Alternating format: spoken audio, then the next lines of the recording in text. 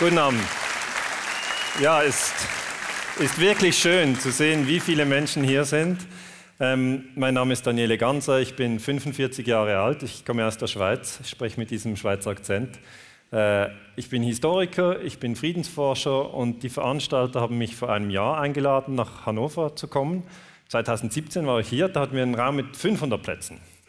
Und dann haben die mich gefragt, kommst du im Mai 2018, also heute, kommst du nochmal? Dann habe ich gesagt, ja, kann man schon machen. Ähm, und jetzt haben wir 1000 Plätze, das hat sich also einfach verdoppelt. Ähm, und das freut mich. Also ich habe überhaupt nicht das Gefühl, es ist selbstverständlich. Ja,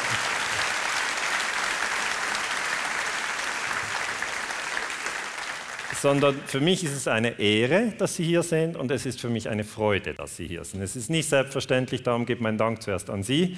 Danke, dass Sie hier sind und sehen Sie auch ein bisschen nach links und rechts, weil dann haben Sie sofort diese Frage gelöst, bin ich eigentlich alleine? sind Sie nicht? Okay.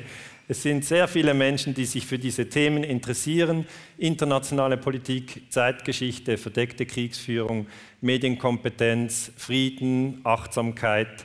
Ähm, das ist etwas, was ich spüre in meiner Arbeit. kommen immer, immer viele Leute zusammen. Und dann, wenn die Leute ein E-Mail schreiben und sagen, Herr Ganser, ich, ich habe das Gefühl, ich bin die Einzige oder der Einzige, der sich dafür interessiert, dann sage ich, das kann wohl sein bei Ihnen im Haus, wo Sie wohnen, oder bei Ihnen in der Straße, wo Sie wohnen, oder bei Ihnen im Dorf, oder bei der Stadt schon nicht mehr, aber beim Dorf, ja, sind Sie vielleicht die Einzige.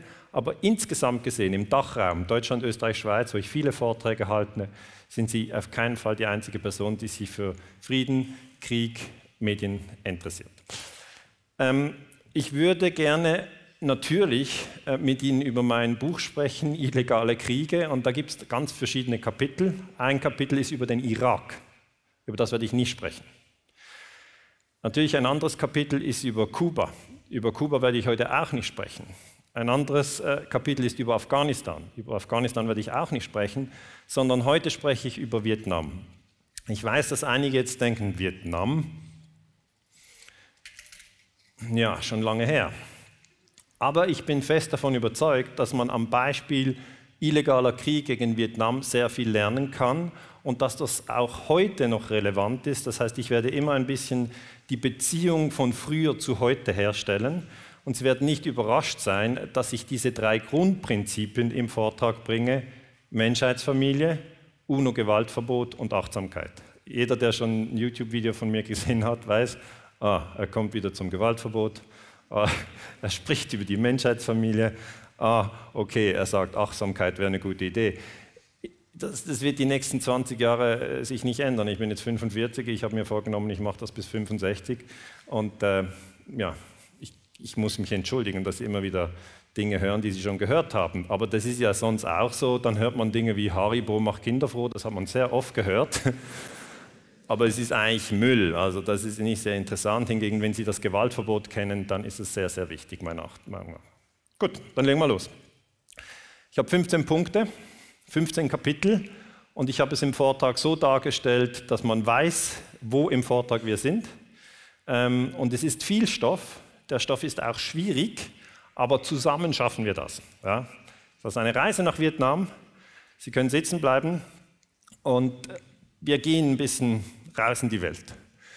Zuerst, Vietnam ist ein Land, das sich an der Küste hier befindet vom südchinesischen Meer. Es grenzt im Norden an China und danach an Laos und Kambodscha. Die Hauptstadt von Vietnam heißt Hanoi, die ist im Norden des Landes. Und wir haben im Süden die zweite Stadt, die sehr bekannt ist, die hieß früher Saigon und die heißt heute Ho Chi Minh Stadt. Hier auf der Karte sehen Sie sie eingezeichnet, äh, Ho Chi Minh im Süden. Und das ist das Wirtschaftszentrum vom heutigen Vietnam. 1960 zählte die Bevölkerung von Vietnam 32 Millionen Menschen. Und heute leben in Vietnam 95 Millionen Menschen. Sie haben also ein Nettowachstum von 60 Millionen Menschen in 60 Jahren. Und das möchte ich herausstreichen, weil wir gehen ja sehr bald dann natürlich in die Thematik Krieg. Und dann haben wir so das Gefühl, wenn ein Land von Krieg überrollt wird, dann sterben alle. Das ist nicht so. Es sterben viele, es gibt großes Leid, aber es ist möglich, dass ein Land eine Bevölkerung hat, die größer wird, obschon es sehr viel leidet und durch eine Phase der kriegerischen Auseinandersetzung geht. Die kommunistische Partei ist die dominante Partei und ist die einzige Partei in, in Vietnam. Also wenn man denkt, ja, der Kommunismus gibt es nicht mehr, das ist falsch. Ja. Den Kommunismus gibt es weiterhin. Es gibt ihn in Kuba, es gibt ihn in Vietnam, es gibt ihn in China. Und wir haben früher als Historiker gedacht, dass es nicht möglich ist, den Kommunismus mit dem Kapitalismus zu verbinden. Heute wissen wir, dass China der Beweis ist, dass es sehr wohl möglich ist. Ja? Das ist ein kommunistisches Land, das aber auch kapitalistisch durchdrungen ist. Jetzt als Schweizer ist für mich das ungewöhnlich, wenn es nur eine Partei gibt. Ja, ich hätte natürlich immer gern verschiedene Parteien zur Auswahl, aber es ist jetzt nicht ein Vortrag über Schweizer Vorlieben, sondern es ist zuerst einmal eine Analyse, dass man versteht, was ist das für ein Land, wie ist das politische System. Das Parlament in Vietnam hat nur eine Kammer, ja, die meisten Parlamente, die Sie sonst kennen, auch in Deutschland oder in der Schweiz, sind Zweikammersysteme und hier haben Sie 493 Abgeordnete und die Kommunistische Partei ist dort natürlich die dominante Partei. Ähm, der Präsident von Vietnam ist sehr unbekannt. Er heißt Tran Dai Quang. Und hier sehen Sie ihn mit Präsident Trump, der natürlich der bekannteste Politiker der Welt ist, gefolgt von Putin, das ist der zweitbekannte Politiker der Welt. Und Tran Dai Quang, das ist so wie der Schweizer Bundesrat, ja, kennt auch niemand. Ähm, das sind Politiker, die selten überhaupt äh, in den internationalen Medien erwähnt werden.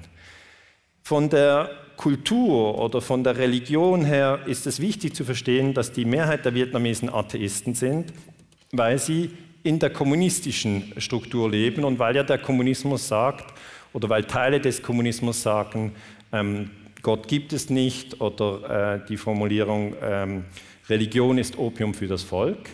Aber sie haben natürlich, bevor äh, Vietnam überhaupt kommunistisch wurde, auch eine andere Kultur im Land und das ist die buddhistische Kultur. Das bedeutet, wir haben hier ein spannendes Phänomen. Wir haben ein Land, das sowohl Atheisten hat als auch Buddhisten und das vermischt sich und das ist für die Historiker immer sehr, sehr spannend, das zu untersuchen.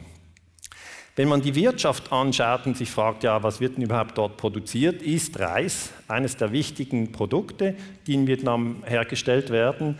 Es gibt ähm, eine Landwirtschaft, die in einer äh, wunderschönen äh, Gegend auch stattfindet. Wer, wer, Bilder von Vietnam kennt oder selber in Vietnam gereist ist, weiß, dass es ein, ein sehr schönes Land ist. Darf ich vielleicht in den Raum fragen, wer war schon mal selber in Vietnam? Einfach, dass ich ein Handzeichen habe.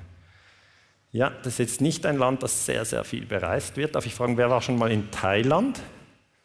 Das sind noch mehr. Ja. Ähm, Vietnam, weil es natürlich ein, ein Küstenstaat ist, hat auch äh, natürlich eine, eine, eine ausgeprägte Fischerei, die gehört, gehört zur Kultur des Landes. Und Vietnam hat günstige Löhne, weshalb große Weltkonzerne natürlich auf der Basis von diesen günstigen Löhnen in Vietnam Produkte wie Turnschuhe herstellen. Hier zum Beispiel Adidas hat äh, in, in Vietnam eine, eine Produktionsstätte. Touristen besuchen Vietnam und das nimmt zu. Im Moment sind es 10 Millionen pro Jahr. Das heißt, dieses Land, weil es ein schönes Land ist, reizt natürlich die Menschen auch, dorthin zu gehen, sich das anzuschauen und sich ein Bild zu machen. Es sind aber vergleichsweise noch weniger Touristen als eben im benachbarten oder nicht sehr fernen Thailand. Die ähm, Natur ist vielfältig. Ähm, hier haben Sie die Kalksteinfelsen in der Halongbucht äh, im Golf von Tonkin. Der Golf von Tonkin wird dann später im Vortrag nochmal vorkommen, weil an dieser Stelle eigentlich die Amerikaner einen Zwischenfall inszeniert haben, der dann zum Vietnamkrieg geführt hat. Aber ich wollte einfach, dass Sie dieses Wort Golf von Tonkin nicht nur mit Krieg und Verbrechen verbinden, sondern dass Sie den Golf von Tonkin auch mal wirklich anschauen, wie er ist. Und dann werden Sie sehen, ähm, das ist doch sehr eindrücklich und sehr schön. Das wäre sozusagen ein kurzer ähm, Rundgang gewesen, natürlich in aller Kürze durch Vietnam. Es ist auch klar, dass ein Historiker nicht äh, eigentlich die, die Wahrheit über alles verkündigen kann, sondern er kann nur seine Forschungsresultate präsentieren. Und ich habe Ihnen hier jetzt äh, Elemente zusammengestellt. Es stimmt eben diese Aussage von Nietzsche. Alles Sehen ist perspektivisches Sehen. Das gilt auch für meinen Vortrag. Ich rege Sie an, diese Gedanken anzuschauen, aber natürlich gibt es andere Forscher, die den Vietnamkrieg ganz anders äh, interpretieren oder anschauen. Man könnte die Akzente anders setzen. Für mich sind das die wichtigen Punkte. Ich möchte zuerst einsteigen mit dem UNO-Gewaltverbot, das viele schon kennen. Die UNO-Charta trat am Ende des Zweiten Weltkrieges in Kraft und dort steht eben, dass ein Land ein anderes Land nicht bombardieren darf, wenn der Zweite Weltkrieg irgendetwas Positives vor, hervorgebracht hat, dann ist es dies, das Gewaltverbot der UNO, weil früher in der ganzen Menschheitsgeschichte hatten wir nie ein Gewaltverbot. Ja. Es gab nicht im 15. Jahrhundert ein Gewaltverbot, äh, sondern wir haben sehr, sehr lang gelitten innerhalb der Menschheitsfamilie. Wir haben uns gegenseitig getötet, enthauptet ähm, und, und verfolgt und verbrannt und 1945 nach 60 Millionen Toten, äh, nach Auschwitz, nach, nach Hiroshima, nach Nagasaki, war die Einsicht der Menschheitsfamilie, dass es ja so nicht weitergehen kann. Und dann hat man das Gewaltverbot formuliert. Und hier ist das Originaldokument der UNO-Charta. Also was machen die Historiker? Die gehen hin, nehmen die Originaldokumente und mir ist schon klar, sie können das hinten nicht lesen oder auch vorne nicht, weil es doch sehr klein ist. Aber hier gibt es den äh, Artikel 1, dann kommt der Artikel 2 und im Artikel 2 Absatz 4 heißt es, ich lese Ihnen das vor, zuerst auf Englisch, All members, das heißt alle Mitglieder der UNO, shall refrain in their international relations from the threat or use of force against the territorial integrity or political independence of any state or any other manner inconsistent with the purposes of the United Nations. Ich habe das übersetzt und gekürzt und das heißt einfach, alle Mitglieder, also alle UNO-Mitglieder, unterlassen in ihren internationalen Beziehungen jede Anwendung von Gewalt. Das ist auch schon jede Androhung und Anwendung äh, von Gewalt. Das ist also das geltende Völkerrecht. Und ich sage immer wieder in allen Vorträgen und in fast allen Interviews, wir sollten uns am UNO-Gewaltverbot orientieren. Das ist sehr, sehr wichtig, weil dann haben wir Stabilität im 21. Jahrhundert. Wenn wir das Gewaltverbot ignorieren, haben wir Chaos. Und natürlich weiß niemand, was wir letzten Endes tun werden. Ja. Aber wenn wir ins Chaos reingehen, wird man sich wieder fragen, warum haben wir Chaos, warum töten wir uns? Und dann werden wir sagen, ach, wir sollten es nicht tun. Und dann haben, fragt man sich, was wäre denn eine gute Idee? Und dann wird man wieder zum Gewaltverbot kommen. Das ist dann nicht etwas Neues, das man dann erfinden kann, sondern das wäre gut, wenn wir schon jetzt eigentlich das Gewaltverbot von mir aus an der Schule unterrichten. Ja, Fände ich gut, wenn man in der Schule über das Gewaltverbot unterrichtet oder wenn man an den Universitäten darüber spricht oder wenn es halt in den Zeitungen hin und wieder erwähnt würde oder wenn es am Fernsehen erwähnt würde. Aber das ist leider nicht der Fall. Weltweit haben sie 193 Länder, das ist äh, äh, sozusagen die Ausgangslage und zwischen diesen Ländern ist es eben verboten, dass ein Land ein anderes Land bombardiert. Es ist auch verboten, dass ein Land mit Panzern über die Grenze fährt in ein anderes Land. Und es ist drittens auch verboten, dass man im Geheimen in einem anderen Land äh, bewaffnete Einheiten finanziert, wie man das zum Beispiel in Nicaragua gemacht hat mit den Contras oder wie man das jetzt in Syrien macht seit vielen Jahren.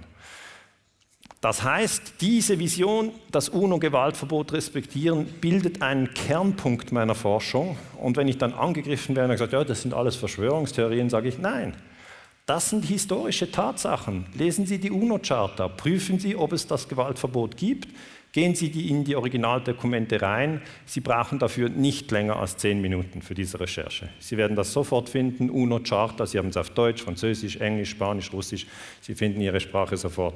Das heißt, es ist ein Kern meiner Arbeit, dass dieses Gewaltverbot ähm, bekannter wird und wenn Sie sich vielleicht in äh, Kommunikation befinden mit anderen Menschen und sie sprechen über Krieg und Frieden, lohnt es sich immer wieder zu sagen, das verstößt doch gegen das UNO-Gewaltverbot. Ja. Wenn halt ein Konflikt vorliegt, dann sagen wir, ja, da gibt es ja kein, keine Erlaubnis von der UNO.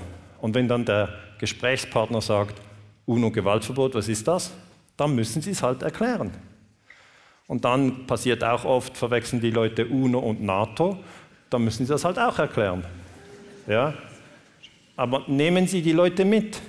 Erklären Sie ihnen das, wenn es das Interesse gibt. Übrigens, ganz wichtig, wenn es das Interesse nicht gibt, ja, dann lassen Sie doch bitte die anderen Leute in Ruhe. Weil es macht keinen Sinn, auf, ja, es macht keinen Sinn, auf, jeden, auf jemanden einzureden, der es nicht hören will. Ja. Die Lebenserfahrung zeigt, dass der Mensch sich erstens überhaupt nicht ändert und zweitens, wenn er sich ändert, nur dann, wenn er will. Also beobachten Sie sich selber. Ja. Es ist sogar in einer Beziehung, wo zwei verliebt sind, sehr, sehr schwierig, wenn der Mann die Frau ändern will oder umgekehrt, wenn die Frau den Mann ändern will. Und nach, nach vielen Jahren kommt man zum Punkt, geht nur, wenn man zusammen will, wenn man nicht will, geht es nicht. Und das ist ja bei fremden Menschen noch mehr. Also ich kann nicht zu jemandem gehen und sagen, du übrigens, weißt du, was dich wirklich interessieren sollte? Und der andere, nö, das UNO-Gewaltverbot. das geht nicht. Sondern sie müssen warten, bis die Leute zu ihnen kommen und sagen, du hast doch kürzlich etwas gepostet, das fand ich völlig abgefahren, aber irgendwie dieses Gewaltverbot, kannst du mir das erklären? Dann ja. Der andere Punkt, den wir verstehen müssen, die Menschheit ist in diesen 193 Ländern verteilt, aber wir sind eine Familie. Wir sind eine Menschheitsfamilie und innerhalb einer Familie sollte man sich nicht töten. Wir sollten uns auch nicht gegenseitig foltern oder verbrennen oder abwerten. Das sollten wir nicht tun. Ich habe so viele Konflikte angeschaut und ich habe eigentlich aus meinem Fazit herausgefunden, dass jeder Konflikt mit einer Spaltung der Menschheitsfamilie anfängt. Also die Amerikaner haben die Vietnamesen als Termiten bezeichnet und erst danach haben sie sie getötet. Das heißt, diese Spaltung in der Menschheitsfamilie ist eine Ursache für sehr, sehr viel Leid und für sehr, sehr viel Chaos. Und darum rege ich an, immer diesen Gedanken der Menschheitsfamilie ganz nahe beim Herzen zu tragen. Das heißt, es ist egal, aus welchem Land Sie kommen. Ja? Äh, ich weiß auch nicht, aus welchen Ländern äh, Sie hier sind. Ich nehme die an, die meisten sind aus Deutschland. Aber ich bin jetzt zum Beispiel aus der Schweiz. Spielt keine Rolle. Auch die Schweizer gehören zur Menschheitsfamilie. Oder umgekehrt, es spielt keine Rolle, ob sie Christ sind oder ob sie Muslim sind oder ob sie Jude sind oder ob sie Buddhist sind oder ob sie Atheist sind. Es spielt keine Rolle, was ihre Glaubenseinstellung ist. Sie gehören zur Menschheitsfamilie. Es spielt auch keine Rolle, ob Sie reich sind und irgendwie 500.000 Euro auf dem Konto haben oder ob Sie Hartz IV empfangen und keine 10 Euro auf dem Konto haben. Sie gehören zur Menschheitsfamilie. Es spielt auch keine Rolle, ob Sie schwarze Haut haben oder weiße Haut. Sie gehören zur Menschheitsfamilie. Und das gilt für alle Menschen. Das heißt, es gibt nicht so etwas wie, na gut, die Vietnamesen gehören wohl nicht zur Menschheitsfamilie, sondern auch die gehören dazu. Und da hat einfach der Mensch natürlich eine Tendenz, ja, dass er andere abwertet und dann tötet. Und das ist schade, aber wir haben auch die Fähigkeit, diese Tendenz abzulegen. Zum Beispiel im Mittelalter hat man die Frauen, die viel wussten, als Hexen abgewertet und dann verbrannt. Und das ist natürlich ein Verbrechen innerhalb der Menschheitsfamilie. Sie können sich immer überlegen, sollte man so in der Familie miteinander umgehen? Und dann werden Sie erkennen, nein, das sollte man nicht. Das heißt, dieser Begriff Menschheitsfamilie ist meiner Meinung nach sehr, sehr wichtig für die Friedensbewegung. Wir sollten uns nicht spalten lassen nach Religion, nach Nation oder Hautfarbe. Ja.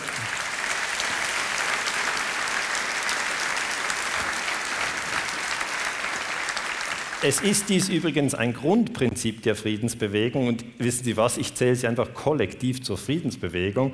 Die Leute sagen dann Friedensbewegung, was ist denn das? Gibt es da ein T-Shirt? Und, und ich sage, nein, es gibt kein T-Shirt. Und dann, ja, wenn man Mitglied ist, kann man da irgendwo unterschreiben und man bezahlt einen Jahresbeitrag. Nein, es ist nur eine Haltung, eine Haltung in ihrem Herz, dass sie keine Enthauptungen wollen, dass sie keine Bombardierung von anderen Staaten wollen, dass sie keine Kriegspropaganda wollen in den Medien und dass sie auch nicht wollen, dass Hass zwischen den Nationen geschürt wird oder zwischen den Religionen. Und das ist eine Grundhaltung, ja. Und wenn Sie da eine Gruppe daraus machen und sagen, du gehörst dazu und du gehörst nicht dazu, äh, dann haben Sie schon wieder die Spaltung. Darum ist eigentlich die Friedensbewegung in dem Sinn unorganisiert, weil sich jeder anschließen kann, aber auch jeder wieder austreten kann. Und da gibt es kein Protokoll. Es ist einfach die Grundhaltung in der Friedensbewegung, dass man die Menschheitsfamilie achtet. Und die meisten wünschen sich natürlich für sich selber und auch für ihre Kinder und Enkel, dass die auch geachtet werden, dass die Kinder niemals gefoltert werden. Das ist ein großes Anliegen von vielen Müttern und vielen Vätern. Sie wollen das nicht, egal in welchem Land. Da ist kein Unterschied, ob sie nach, nach Indien oder nach Peru gehen. Gut, Jetzt möchte ich nach diesen einführenden Bemerkungen mit Ihnen nach Vietnam gehen und ich möchte anschauen, dass zuerst die Franzosen mit sehr viel Gewalt in Vietnam vorgegangen sind. Wir haben im Vietnamkrieg zwei Phasen, einen französischen Krieg und dann einen US-amerikanischen Krieg.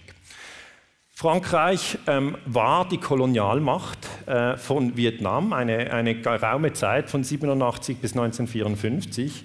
Und in der Zeit des Kolonialismus wurde natürlich das Prinzip der Menschheitsfamilie verraten.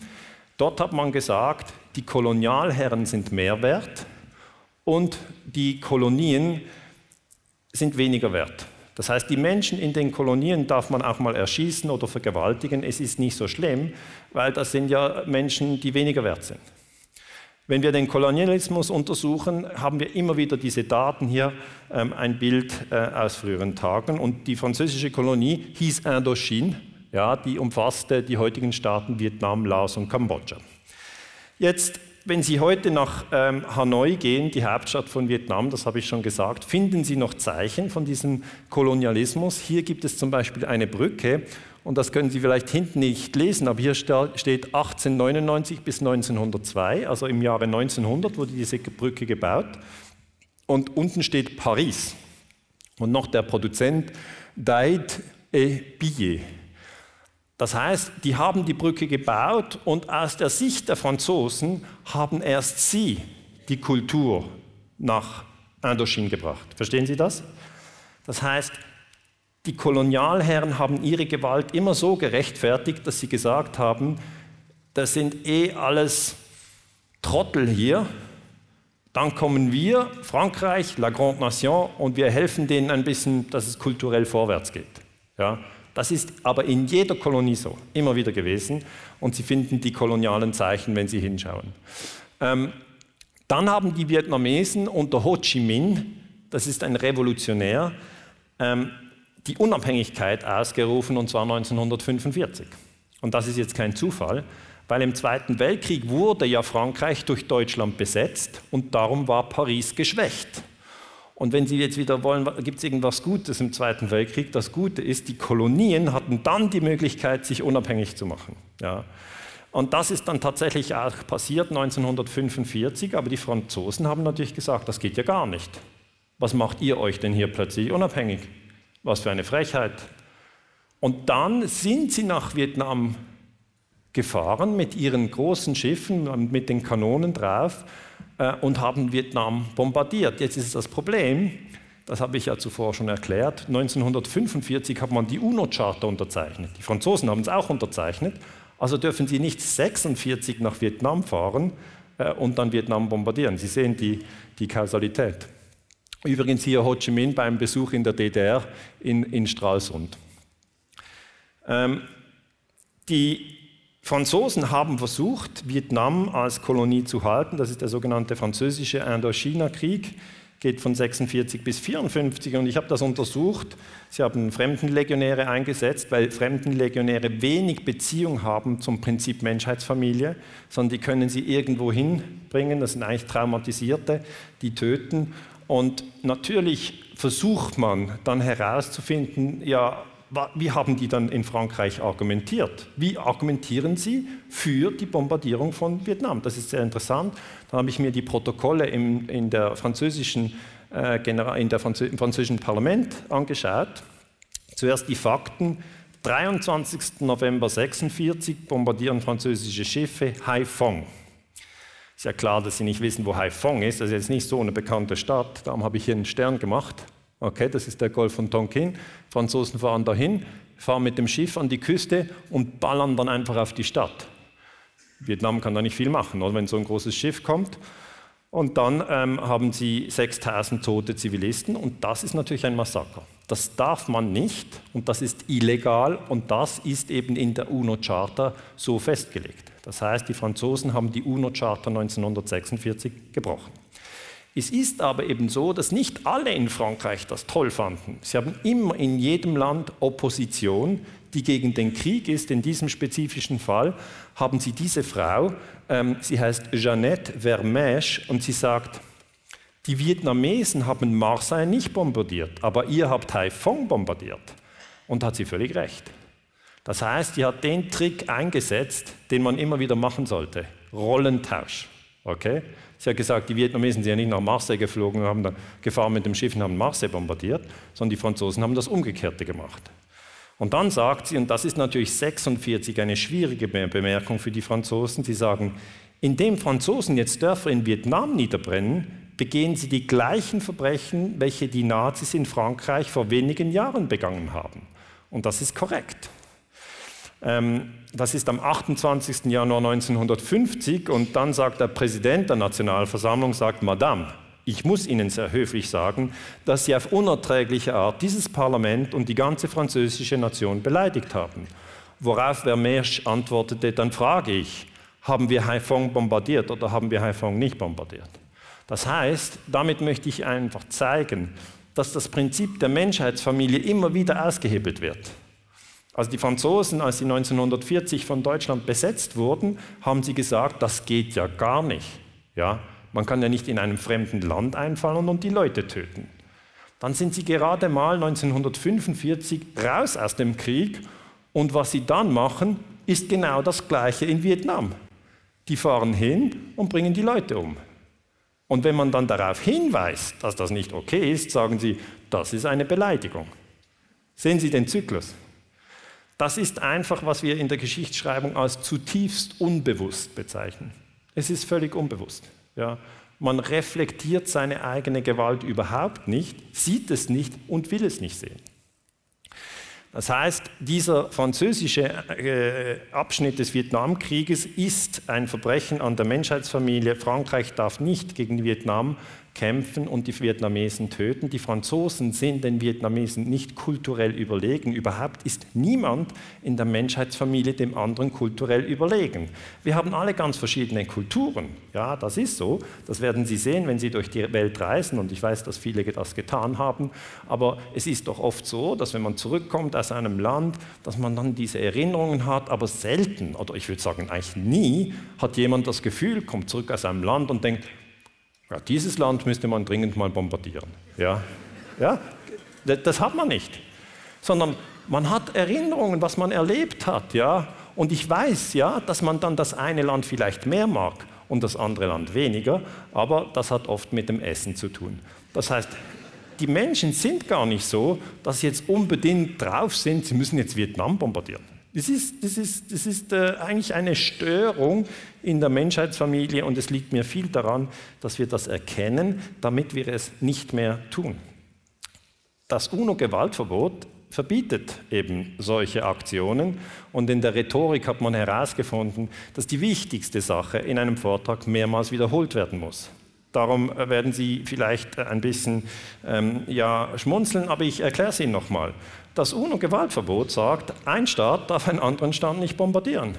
Ja, es heißt UNO-Gewaltverbot. Es gibt's und es ist in der UNO-Charta seit 1945. 1946 war es also auf jeden Fall gültig und die Franzosen haben es ignoriert. Wichtig zu wissen, die Franzosen sind im UNO-Sicherheitsrat. Okay? Das heißt, wenn die Frage auftaucht, wurde Frankreich für diesen Verstoß gegen die UNO-Charta sozusagen bestraft mit einer Resolution, ja, dann ist die Antwort nein. Und das ist für viele Leute sehr schwer zu verstehen. Von den 193 Ländern sind fünf im Sicherheitsrat, die 188 sind nicht im Sicherheitsrat. Das heißt, die fünf sind die Oberschicht und die 188 sind die Unterschicht. Und es tut mir leid, Ihnen mitzuteilen, Deutschland und die Schweiz sind in der Unterschicht. Es ist einfach so. Das heißt, wenn jetzt Vietnam 1946 Marseille bombardiert hätte, dann können Sie sicher sein, wären die Vietnamesen verurteilt worden auf der Basis der UNO-Charta und wissen Sie was? Zu Recht. Aber das Umgekehrte führt zu keiner Verurteilung.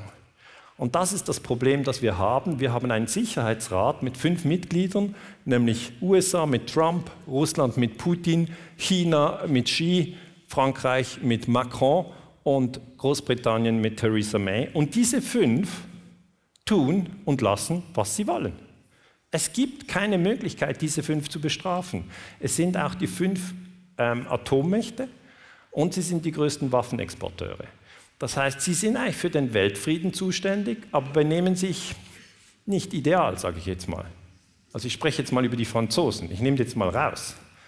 Und wenn jetzt jemand hier im Raum ist, der ist Franzose, dann möchte ich unterstreichen, es geht mir nicht darum, Sie in Ihrem Nationalstolz zu beleidigen. Es geht mir darum zu erklären, dass niemand aus der Menschheitsfamilie das Recht hat, einen anderen aus der Menschheitsfamilie zu töten. Es geht nicht um Nationalstolz. Es geht um das Prinzip UNO-Gewaltverbot. Ähm, die Franzosen haben dann äh, militärisch äh, gekämpft und sind militärisch geschlagen worden. Sie mussten 1954 in der Schlacht von Dien Bien Phu äh, einsehen, dass sie Vietnam nicht halten können. Okay? Also die Vietnamesen haben gewonnen. Die UNO-Charta hat ihnen nichts genützt. Die haben mit Gewalt die Kolonialherrschaft abgestreift. Und dann wurde, das ist der vierte Punkt, Vietnam geteilt. Das heißt, das, was in Deutschland passiert ist, ist eben auch in Vietnam passiert. Man hat hier eine Linie durchgezogen am 17. Breitengrad, das war eine Konferenz in der Schweiz, in Genf. Ähm, da hat man gesagt, die Schweiz ist ein neutrales Land, da treffen sich jetzt die Vietnamesen und die Franzosen und ähm, dann wird man darüber sprechen, was man jetzt mit Vietnam macht. Und die Idee war, dass die siegreichen Kommunisten unter Ho Chi Minh den Norden bekommen und im Süden äh, sozusagen andere äh, die Regierung übernehmen, aber dass man schon 1956 freie Wahlen und dann die Wiedervereinigung macht. Das heißt, man hat gesagt, das ist nur eine kurze Sache, die wir hier machen, wir trennen das nicht länger, aber, und das ist auch die Tragödie von Vietnam, dieses Versprechen wurde gebrochen. Und zwar vom Süden, weil der Süden wusste, wenn es gesamt, ich habe schon fast gesagt, gesamtdeutsche Wahlen gibt, wenn es gesamtvietnamesische Wahlen gibt, dann werden die Kommunisten gewinnen. Und die Amerikaner und die Franzosen wollten natürlich nicht, dass äh, Vietnam in die Hände der Kommunisten fällt. Ho Chi Minh ähm, wurde in Nordvietnam Präsident. Wenn, er, äh, wenn die Wahlen durchgeführt worden wären, was der Plan war in Genf, wäre er Präsident von ganz Vietnam geworden. Und dieser Krieg, den die USA dann gegen Vietnam geführt haben, wäre nicht nötig und auch nicht möglich gewesen. Aber die Amerikaner haben eigentlich die Kolonialherrschaft der Franzosen übernommen und haben in Südvietnam diesen Mann aufgebaut, der heißt Diem.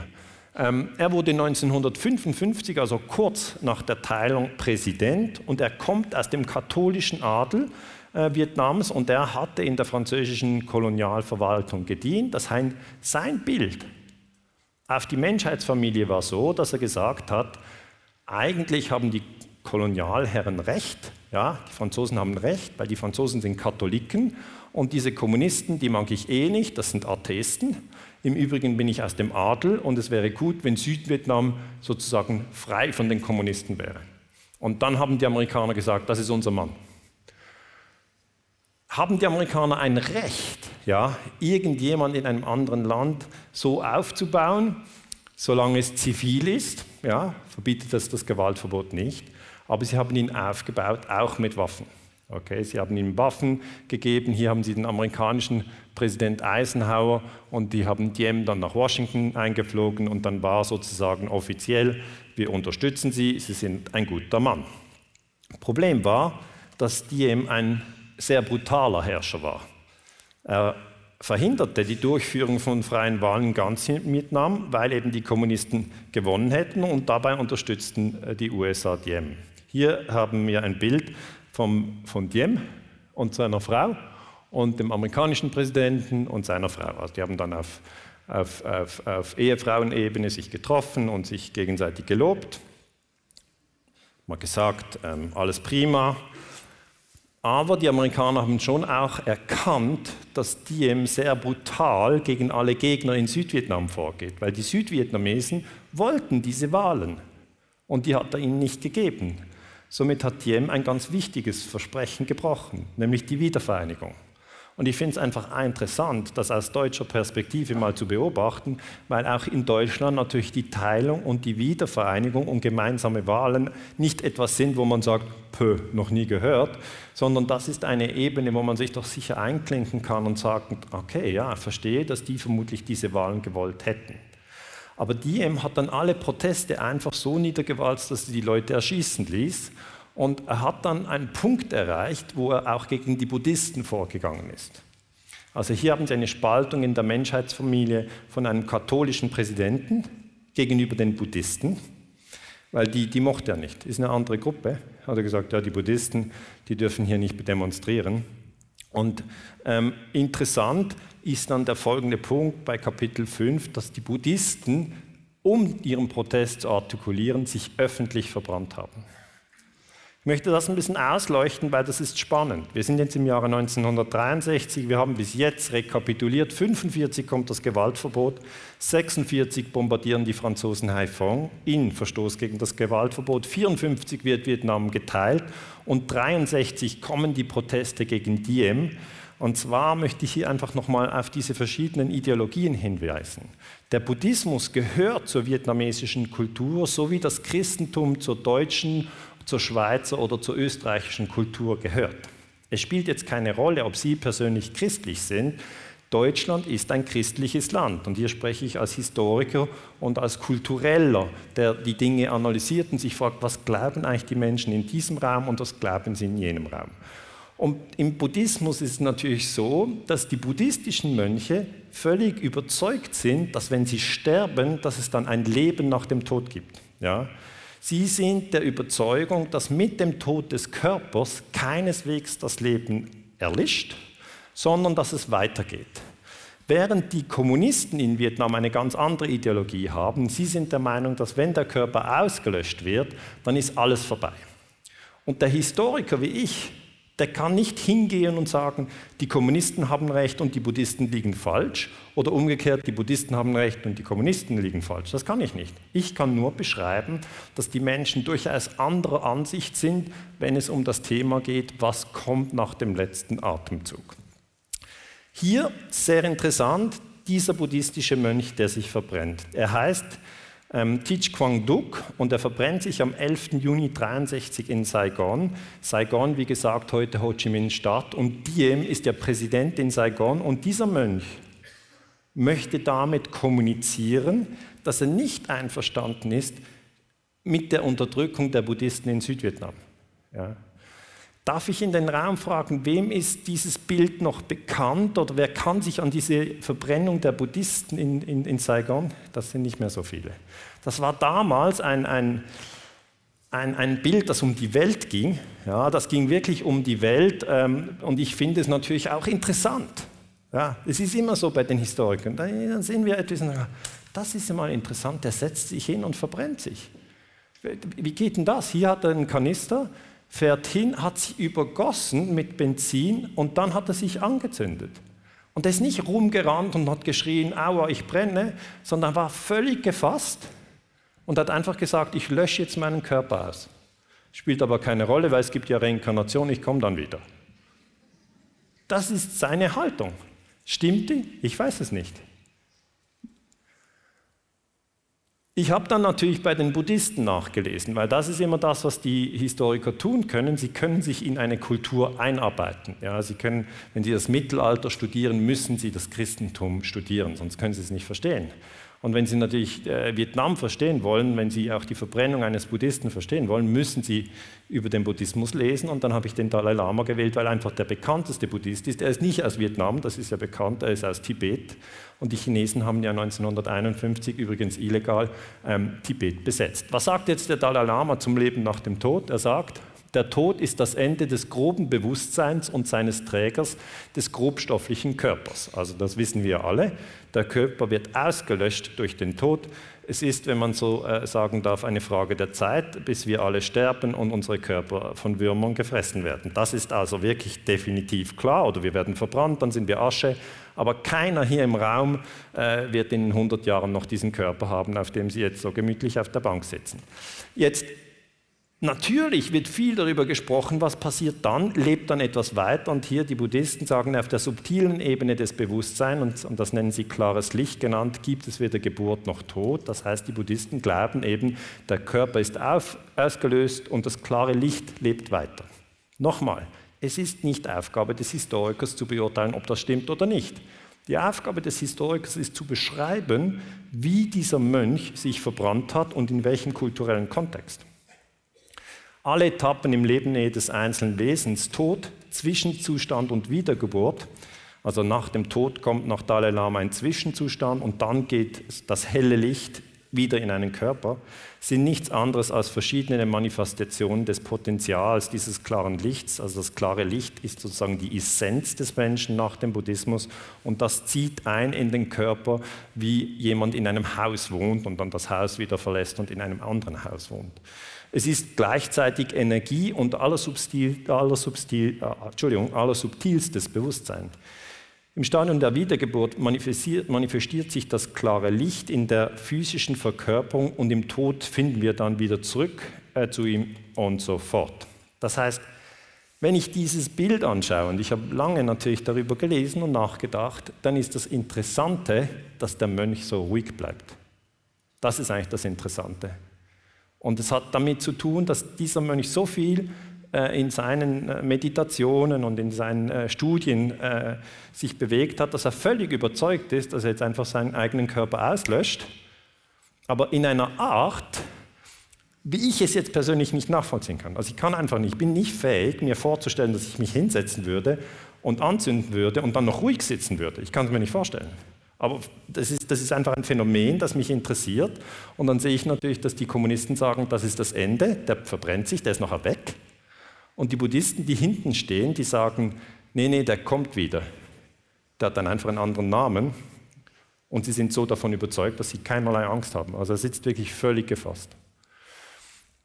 Ähm, ein amerikanischer Augenzeuge, ein Journalist, David Halberstam, hier im Bild, war vor Ort. Die Amerikaner waren ja in Vietnam und sie sagen, als Zeuge sagt er, Menschen verbrennen verblüffend schnell. Hinter mir konnte ich das Schluchzen der Vietnamesen vernehmen, die sich nun zusammenfanden. Da waren also die jungen Mönche auch dort, ähm, die ja auch gegen das Regime protestiert haben. Und ich war zu erschüttert, um zu weinen. Ich war zu durcheinander, um mir Notizen zu machen oder Fragen zu stellen, sogar zu bestürzt, um überhaupt zu denken. Während er brannte, bewegte er keinen einzigen Muskel, gab keinen Laut von sich und bildete damit durch seine sichtliche Gefasstheit einen scharfen Gegensatz zu den klagenden Leuten um ihn herum.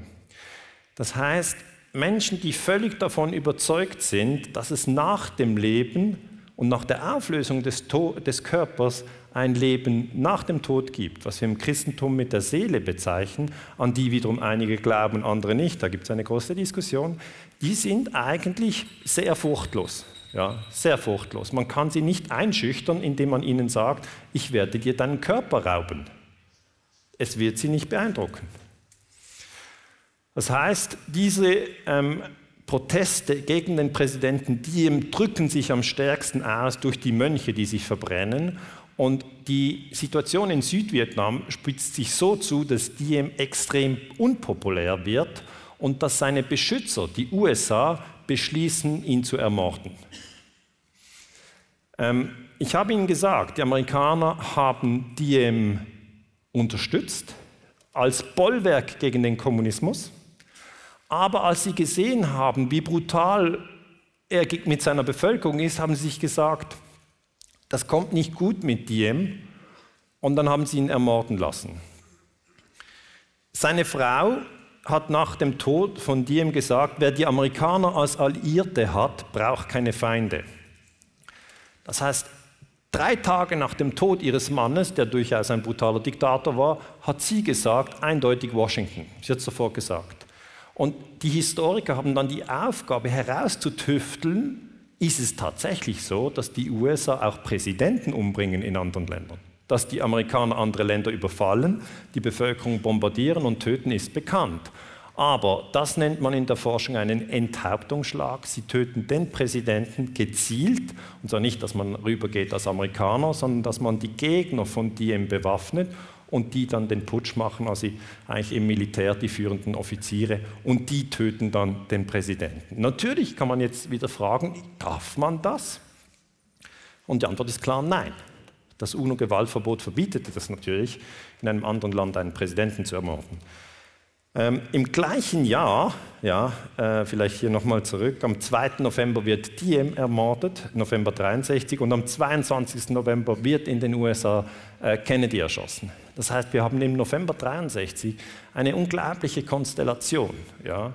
Wir haben einen doppelten Präsidentenmord, ähm, und es ist natürlich die große Frage, was wäre passiert, wenn Kennedy länger an der Macht gewesen wäre. Verschiedene Dokumente zeigen, dass die USA natürlich äh, Südvietnam mit Panzer bewaffnet haben, mit anderen Waffen, aber Kennedy dann gesagt hat, ich möchte eigentlich alle Berater aus Südvietnam abziehen. Und dann gab es in den USA einen Konflikt, dass einige gesagt, gesagt haben, Kennedy ist nicht genügend hart gegenüber dem Kommunismus. Ob das der Grund ist, warum er erschossen wurde und warum er umgebracht ist, kann ich an dieser Stelle nicht ausführen. Das wäre wieder ein anderes Thema, Kennedy-Mord. Aber wir wissen ähm, vom ähm, Verteidigungsminister ähm, äh, Robert McNamara, hier, hier links im Bild, das ist der Verteidigungsminister von Kennedy, er sagte, dass Kennedy am 2. Oktober 63, also kurz vor seiner Ermordung, gesagt habe im National Security Council, er wolle alle US-Berater aus Südvietnam abziehen. Das heißt, der Zusammenhang zwischen dem Kennedy-Mord und der amerikanischen Politik in Vietnam ist spannend. Äh, meiner Meinung nach wäre unter Kennedy kein Vietnamkrieg passiert. Kann ich jetzt natürlich nicht beweisen, sondern ich habe nur Indizien. Aber Kennedy ist tot und wir können nicht die Geschichte sozusagen laufen lassen mit Kennedy. Wie wurde das in den USA aufgedeckt? Es gibt in den USA natürlich immer wieder auch ehrliche Menschen, die diese Verbrechen aufklären. Einer davon ist Senator Frank Church, hier links im Bild. Er hat die CIA untersucht, und zwar 1975, und äh, es kam heraus, dass die CIA eben in Vietnam die Ermordung von Präsident Diem unterstützt hat. Und Frank Church hat dann gesagt, er empfinde Abscheu, Abscheu gegenüber dem, was die Senatoren herausgefunden haben. Ich werde immer gefragt, Herr Ganser, Ihre Geschichten sind so abgefahren. Was sind denn Ihre Quellen? Ja? Die Quelle für den Mord an Diem ist der Bericht des amerikanischen Senats, der heißt Alleged Assassination Plots Involving Foreign Leaders. Da geht es also darum, dass, man, dass die CIA versucht hat, Fidel Castro zu töten. Das ist nicht gelungen. Ja, die haben auch Muscheln präpariert, abgefahren. Die wussten, Fidel taucht gerne. Dann haben sie so Muscheln gemacht, die explodieren. Aber der Fidel hat es überlebt. Und der Diem hat es eben nicht überlebt. Sehen Sie das? Aber Mord ist in der internationalen Politik etwas, was eingesetzt wird und wir Historiker können das rekonstruieren. Es braucht eine gewisse Zeit, bis wir die Dokumente haben. Es ist aber nicht nur dieser Bericht, sondern es ist auch ein anderer Bericht, den wir erst 1971 bekommen haben. Das sind die sogenannten Pentagon Papers. Die wurden von Daniel Ellsberg, einem Amerikaner, publik gemacht. Und die Pentagon Papers enthüllen, wie die Amerikaner die äh, Ermordung von Diem unterstützt haben. Das sind also diese Pentagon Papers und ich zeige hier Daniel Ellsberg, dass wir nicht in den Fehler verfallen zu sagen, alle in den USA wollten den Vietnamkrieg. Ja, dann sind wir in diesem nationalistischen Denken. Das sollten wir vermeiden. Wir sollten verstehen, die USA gehört auch zur Menschheitsfamilie. Die meisten Amerikaner haben keine Ahnung, wo Vietnam liegt. Und es gibt sehr informierte Amerikaner, die eben das nicht wollten, dass die USA in diesen Krieg ziehen und die haben sich der Friedensbewegung damals angeschlossen. Daniel Ellsberg gehört zu ihnen. Und wenn ich über die verdeckten Operationen der USA berichte, sind oft Amerikaner meine Quellen, um das überhaupt aufzudecken. So sieht das aus, das ist das Material, das ich lese. Ähm, das sind einfach Schreibmaschinenseiten äh, aus den 70er Jahren, das war früher Top Secret. Ähm, und ähm, äh, das heißt dann, for the military coup against Diem, the US must accept its full share of responsibility, was übersetzt heißt, für den Militärputsch gegen Diem müssen die USA einen vollen Teil der Verantwortung tragen. Also man hat die Putschpläne der Generäle autorisiert, das sind Vietnamesen, man hat sie ermuntert, volle Unterstützung für eine Nachfolgeregierung zugesagt äh, und dann hat man sowohl während der Planung wie auch während des, der Ausführung des Putsches im Geheimen den Kontakt zu den Generälen aufrechtgehalten. Das ist verdeckte Kriegsführung, das weiß das US-Volk nicht. Und auch die Deutschen oder die Schweizer haben natürlich nichts davon gewusst, als das passiert ist. Okay? Das ist einfach unter dem Radar für die meisten Menschen.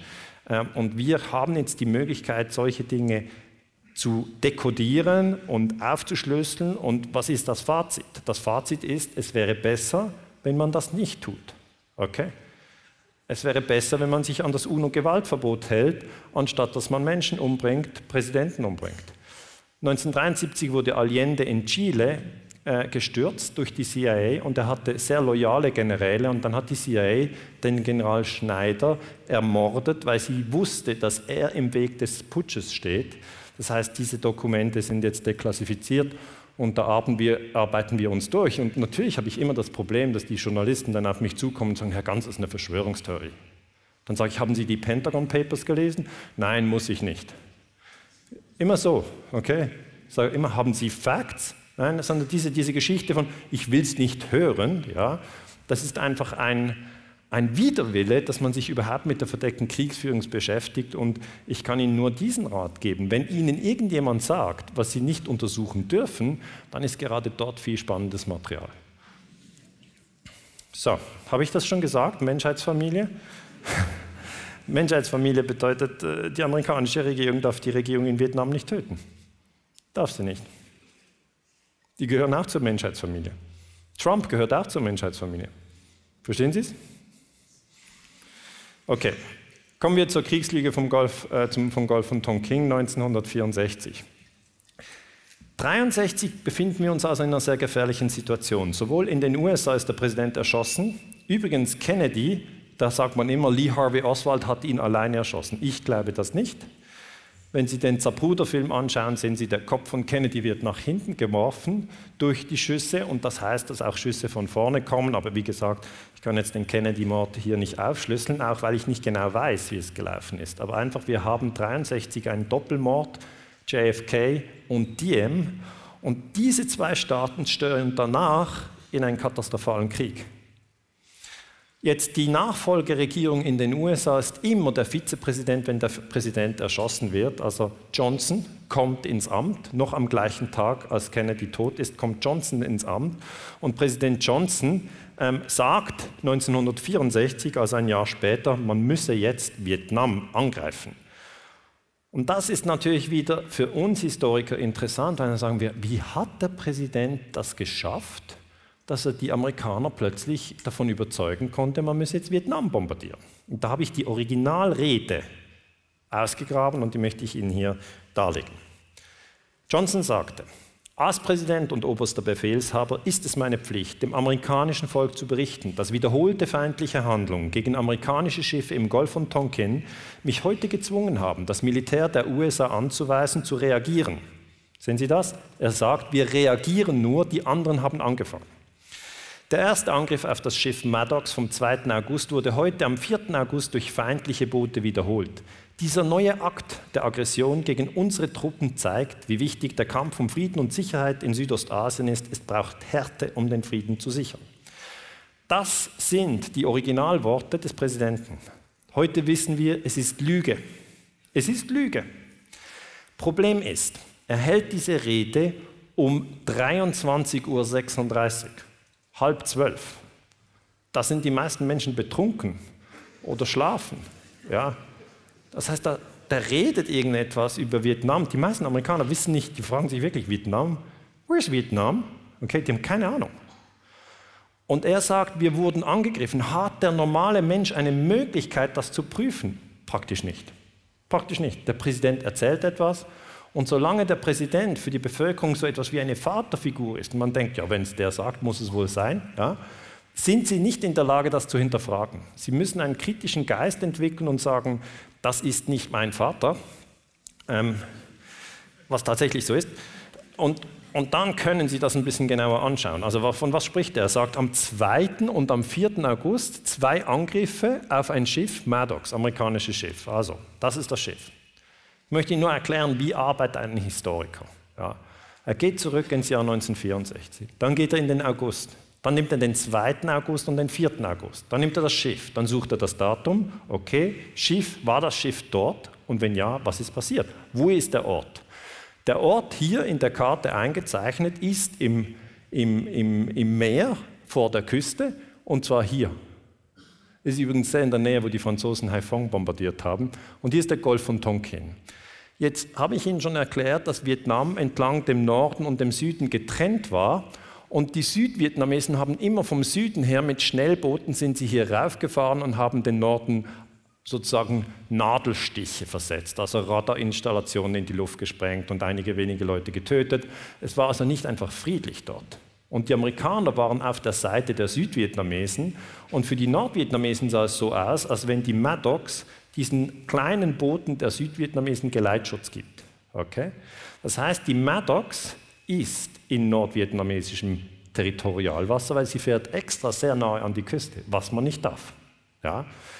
Es gibt äh, sozusagen eine gewisse Grenze, die man einhalten muss und die wurde nicht eingehalten.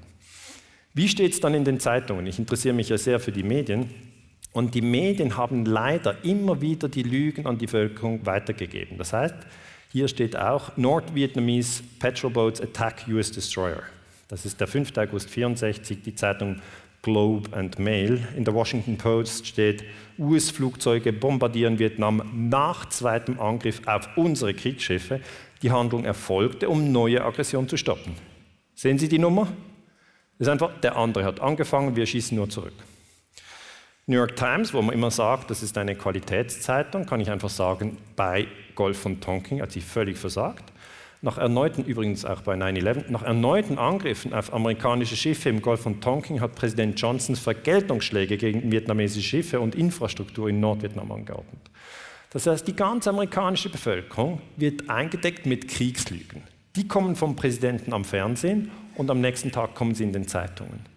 Das erzeugt einen massiven kollektiven Druck im Gehirn der Amerikaner, dass sie sagen, ja, wenn wir angegriffen werden, müssen wir uns ja wehren. Wir haben jetzt aber herausgefunden, dass es diesen Angriff nicht gab. Das ist das Abgefahrene. Der Präsident hat gelogen.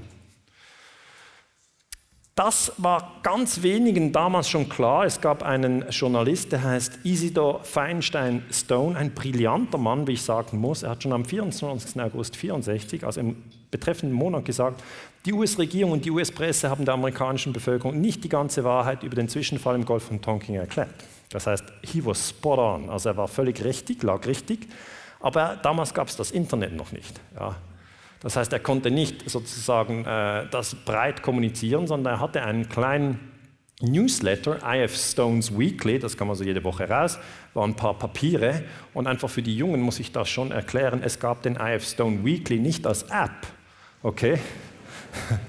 Sondern früher, als ich zum Beispiel in die Schule ging, musste das alles kopiert werden in einem Kopiergerät.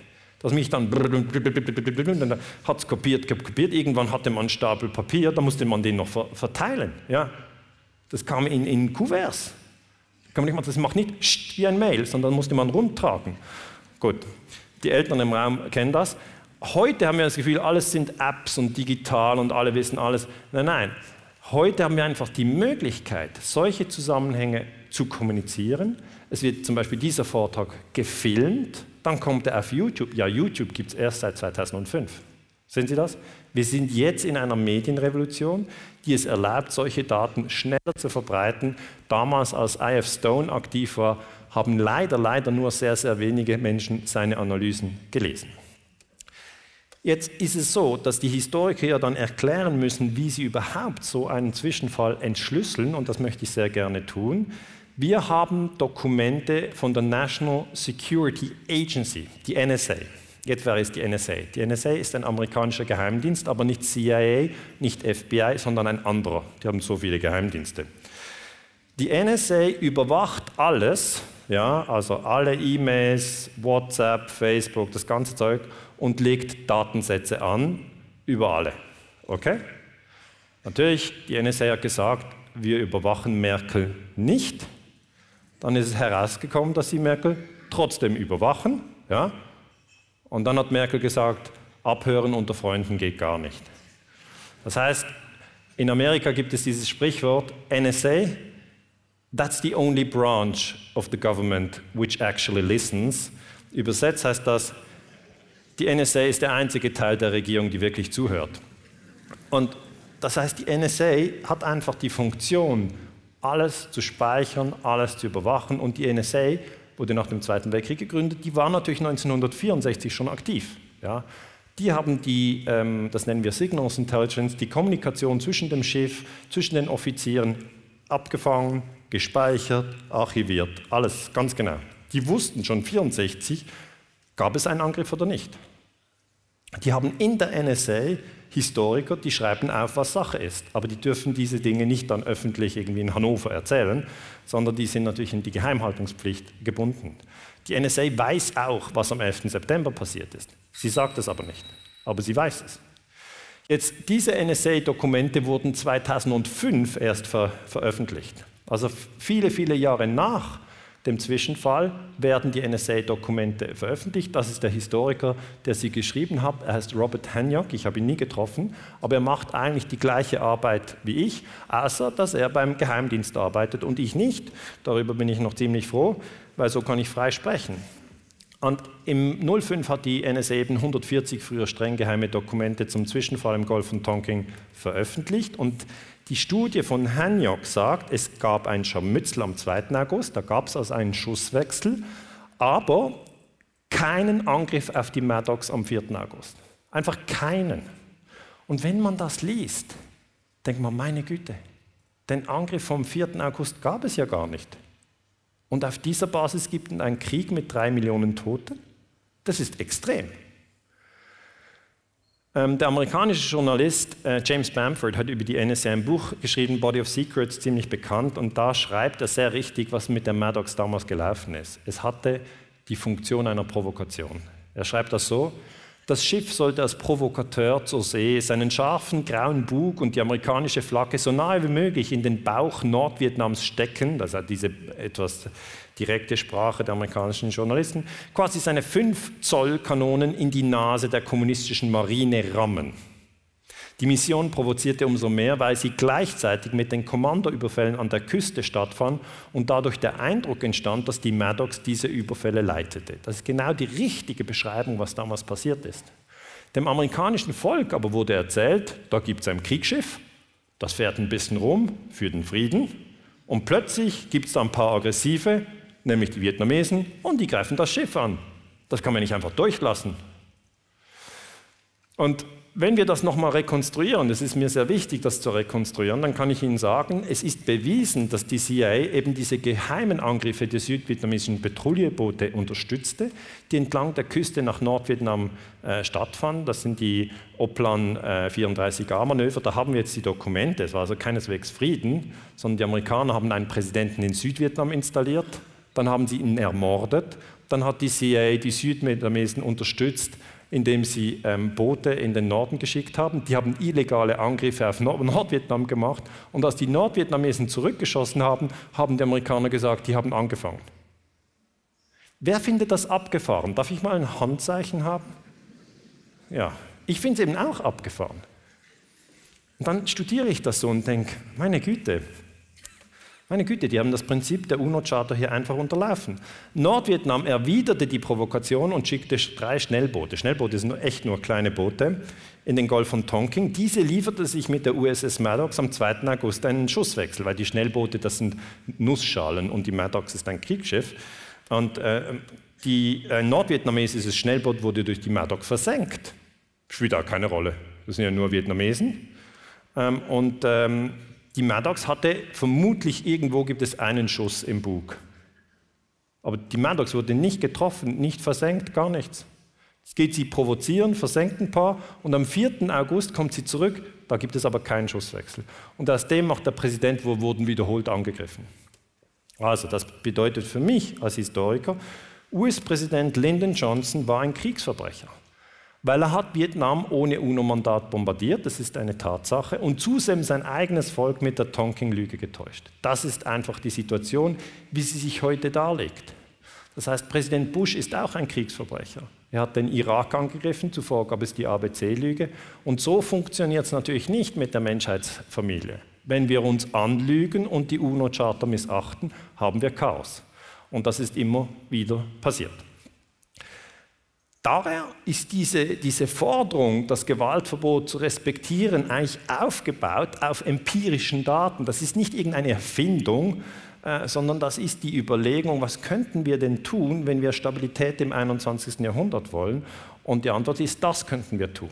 Keine Zwischenfälle inszenieren, keine Länder überfallen und über die Medien nicht dauernd Kriegslügen verbreiten, weil durch die Kriegslügen wird eben die Menschheitsfamilie gespalten und danach getötet. Der Sicherheitsrat natürlich hätte diese amerikanische Bombardierung von Nordvietnam verurteilen müssen. Es gab ja kein Mandat der UNO. Das heißt, mich interessiert dann wieder, und das ist äh, eigentlich dann eine, eine Haupttätigkeit in meiner Arbeit, was hat denn der Sicherheitsrat damals gemacht? Haben sich die getroffen? Haben sie das verurteilt? Und dann, wenn man das anschaut, sieht man wieder ganz klar, die Amerikaner, die Franzosen und die Briten halten zusammen, das sind die drei NATO-Staaten im Sicherheitsrat, und die Franzosen sagen, äh, die Briten sagen, es sei Selbstverteidigung gewesen und das darf man. Also die Sitzung vom Sicherheitsrat, da sagt der britische Botschafter, weil wir es hier mit wiederholten Angriffen zu tun haben, die stärker wurden. Also stärker wurden, hallo, es gab einen Angriff und den zweiten gab es nicht, aber dann wurde vielleicht der erste stärker, so in sich selber. Hatten die USA das Recht, gemäß dem Prinzip der Selbstverteidigung aktiv zu werden? um weitere solche Angriffe auf ihre Schiffe zu verhindern. Präventive Aktionen, welche diesem Ziel dienen, stehen in völligem Einklang mit der UNO-Charta und Artikel 51. Das heißt, in der UNO-Charta gibt es den Artikel 51 und der besagt, ein Staat darf sich selber verteidigen.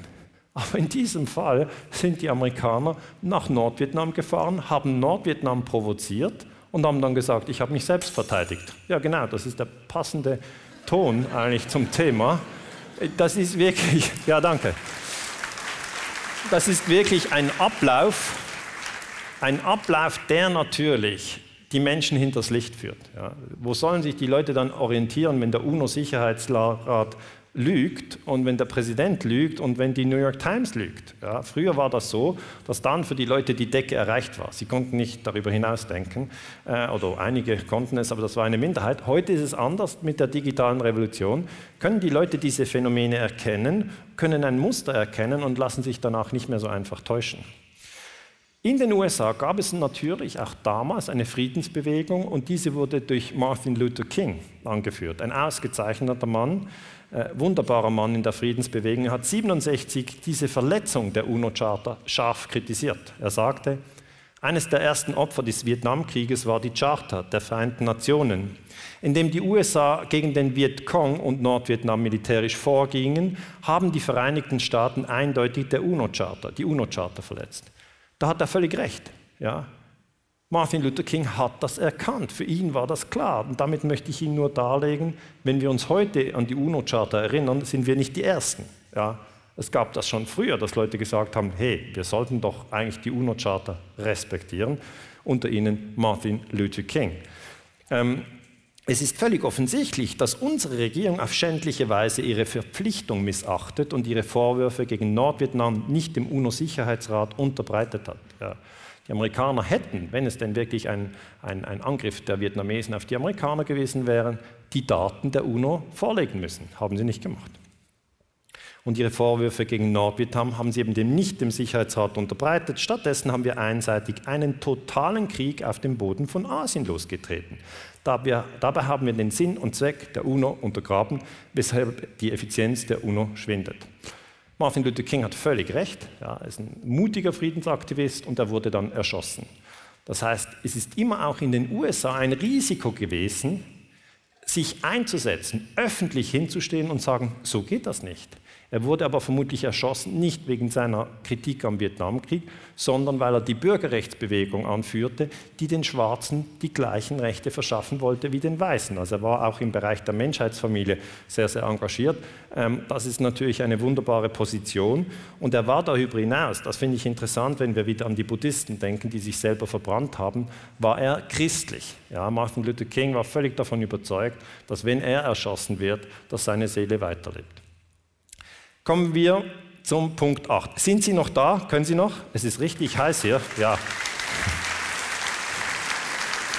Ich weiß, Ich weiß, es ist heiß, es ist äh, auch schwieriger Stoff, aber ich möchte Ihnen ja nur an diesem Beispiel Vietnam eben die Wichtigkeit der Prinzipien Menschheitsfamilie und UNO-Charta deutlich machen. Wir können das am Beispiel Vietnam machen, Beispiel Kuba, Beispiel Syrien, Beispiel Afghanistan, Beispiel Iran, spielt gar keine Rolle.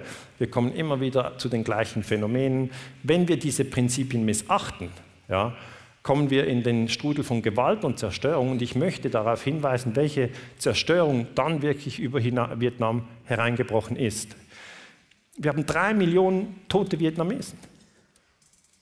Das heißt, wenn der Mensch sich in die Lüge hineinziehen lässt, findet er schwer wieder hinaus. Ja? Es ist nicht so, dass man sagen kann, ja, diese Golf- und Tonking-Lüde, was, was, machen Sie da irgendwie, ob es da eine Kugel in der Maddox gab oder 2. oder 4. August, was knien Sie sich da so rein? Sind Sie irgendwie verkrampft? Und dann sagt jemand, nee, nee, ich mache das, weil ich die drei Millionen Tote sehe und weil ich mich frage, da kann ja nicht sein, dass da drei Millionen Menschen umgebracht werden, ohne dass man mal untersucht, ja,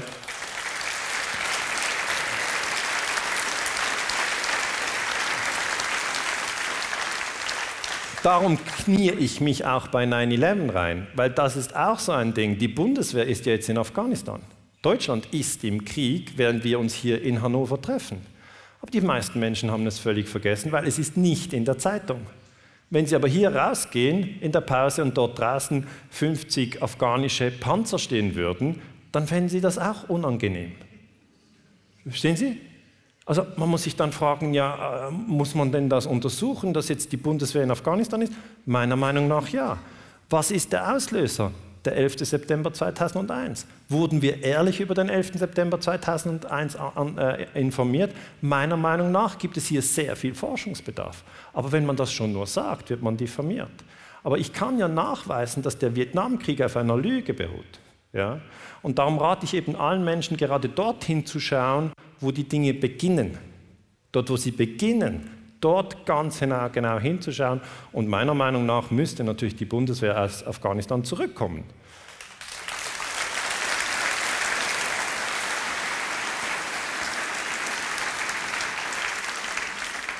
In Vietnam haben wir damals wirklich das, das ganze Programm. Also wenn Sie Krieg haben, haben Sie Vergewaltigung, Sie haben Enthauptung, Sie haben, äh, Sie haben Tote, Verletzte, Traumatisierte, alles. Ja? Und der Unterschied zu heute ist, Sie haben Bilder. Ja, damals hat man die Presse frei rumlaufen lassen, ein Fehler, den das Pentagon heute nie mehr macht.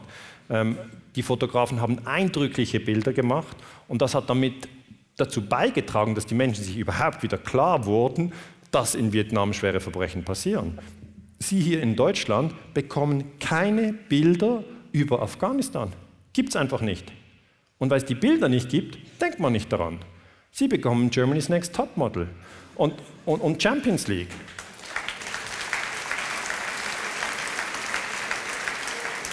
Und verstehen Sie mich nicht falsch, ich schaue selber Champions League. Ja? Es ist nichts dagegen einzuwenden, das zu schauen, aber es sollte nicht die ganze Aufmerksamkeit der Menschen binden. Ja? Weil sonst ist man in dieser, in dieser Oberflächlichkeit und vergisst einfach, dass auf der anderen Seite der Welt die Menschen umgebracht werden, die doch zur Menschheitsfamilie gehören. Die Amerikaner haben gesagt, in Südvietnam gibt es Vietcong. Was sind denn Vietcong? Das sind Kommunisten und Vietnamesen und das ist ein Beispiel für ein Vietcong. Das heißt, was funktioniert? Man sagt, der Vietcong gehört nicht zur Menschheitsfamilie, darum muss man ihn umbringen. Wenn ich das analysiere, ist es tatsächlich so, viele von denen waren Kommunisten. Aber ihr Bestreben war Freiheit. Sie wollten sich befreien von der französischen Vorherrschaft, dann vom Präsident Diem und dann von der amerikanischen Vorherrschaft. Sie wollten einfach, dass diese alle wieder nach Hause gehen. Und das ist ein legitimes Bedürfnis und diese dann einfach als Unmenschen einzustufen, ist Teil der Kriegspropaganda. Der Krieg ist brutal, das dürfen wir nicht vergessen. Hier der deutsche Fotograf Horst Faas hat in Vietnam fotografiert, eben die, die Fotografen durften damals rumlaufen, wo sie wollen. Und er zeigt, wie brutal und abscheulich der Krieg ist. Hier ein, ein Vater hält sein totes Kind südvietnamesischen Soldaten entgegen. Da fragt man sich einfach, was für ein Wahnsinn, was für ein Wahnsinn läuft da und wie kann es dazu kommen, dass die Menschen in diesen Zustand hineinrutschen? Heute haben sie Embedded Journalists. Das heißt, die Fotografen dürfen nur dorthin, wo das Militär es ihnen erlaubt. Sie können das recherchieren, indem Sie Afghanistan und Bundeswehr in Google eingeben und dann auf Bilder eingeben. Ja, die Funktion Bilder. Und dann machen Sie mal eine Recherche, was Sie für Bilder finden.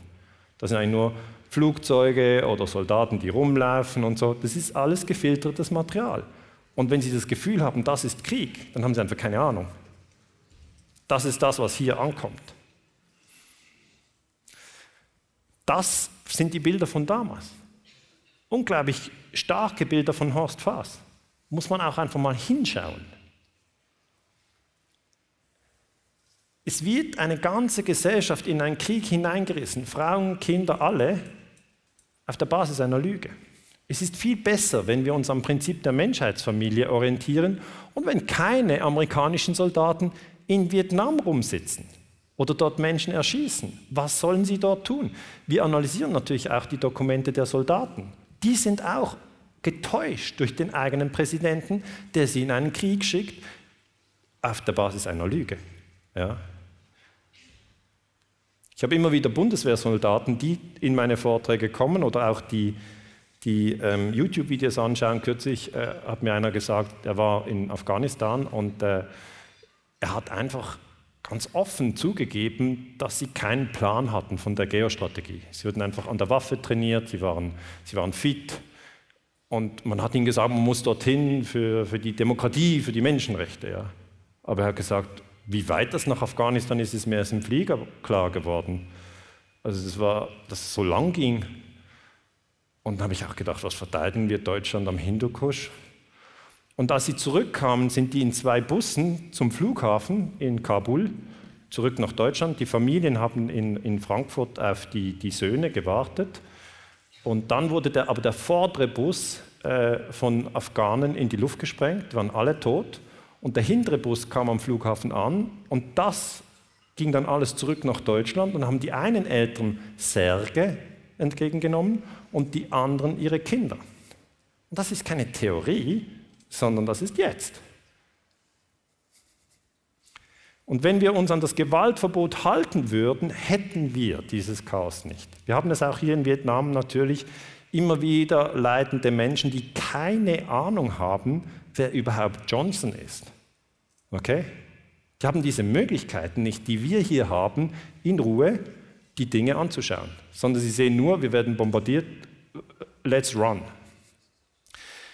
Diese Helikopter sind dann auch eigentlich zum Symbol geworden von diesem Vietnamkrieg hergestellt von Bell Helikopter. Natürlich durch das Produzieren von Kriegsgerät kann man Geld verdienen.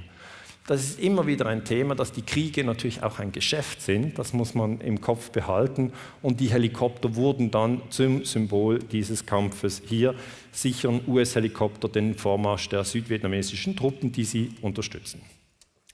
Die Soldaten selber sind 18 bis 25 Jahre alt. Wenn ich mich daran erinnere, wie wenig ich wusste mit 18, wie wenig ich wusste mit 20, wie wenig ich wusste mit 25, kann ich verstehen, dass diese Soldaten einfach keinen Plan haben und sich in einem Land befinden, das sie nicht verstehen, weder kulturell noch sprachlich noch geostrategisch. Und das ist auch nicht richtig, dass wir die jungen Männer einfach in Kriege schicken, wo sie nur traumatisiert zurückkommen. Ja.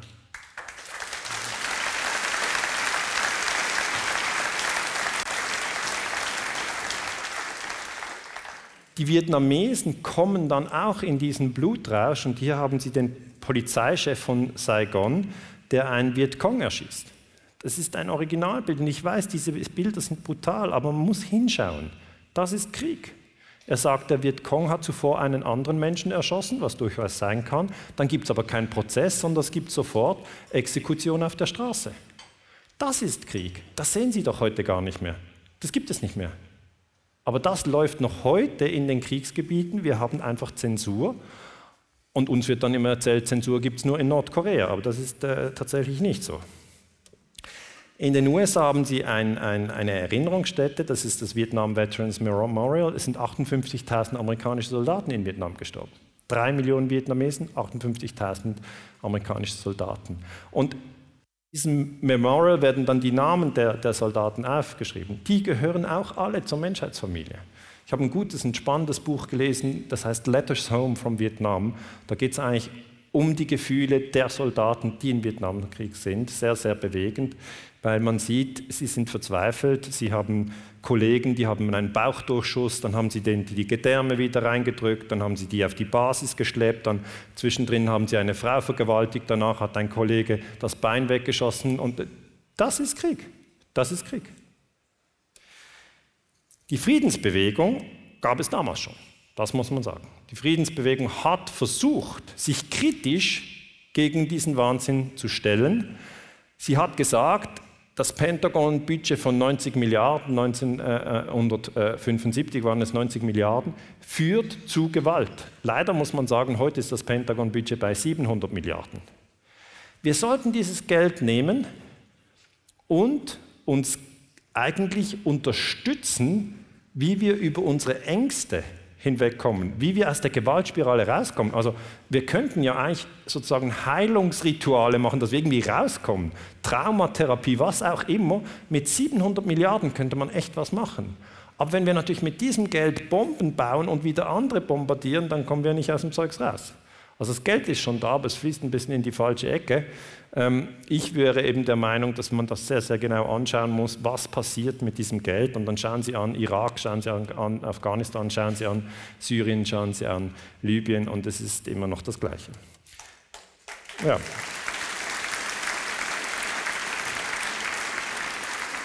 Die Friedensbewegung damals, 68er Bewegung, hat vor dem Pentagon demonstriert. Das muss man sich mal vorstellen. Das heißt, die sind hingegangen, das ist ein Originalbild von einer Frau, die eben dann hingegangen ist mit einer Blume, darum nennen wir es auch Flower Power Revolution. Sie haben gesagt, wir wollen dieses Töten nicht. Dort natürlich wieder Soldaten, die auch irgendwie einfach dorthin geschickt wurden. Dann hieß es, okay, ihr steht mal dorthin, Bajonett aufgesetzt, ihr, ihr schaut, dass die Leute hier nicht zu nahe kommen. Das ist ein Originalbild. Das heißt, wir haben wirklich starke Bilder aus der, aus der Friedensbewegung von damals. Ähm, Pentagon, 21. Oktober 67, das sind ja die Hippies, Sie sehen es auch am Kleiderlook. Ähm, die Hippies, meiner Meinung nach, eine ganz, ganz gute Gruppe, weil die einfach gesagt haben, hey, das ist doch Wahnsinn. Das ist doch Wahnsinn. Hier einer Kritiker hat 1969 in New York gesagt, das ist Dick Gregory, in Vietnam benutzen wir den schwarzen Mann, um den gelben Mann zu töten, damit der weiße Mann das Land behalten kann, das er vom roten Mann genommen hat.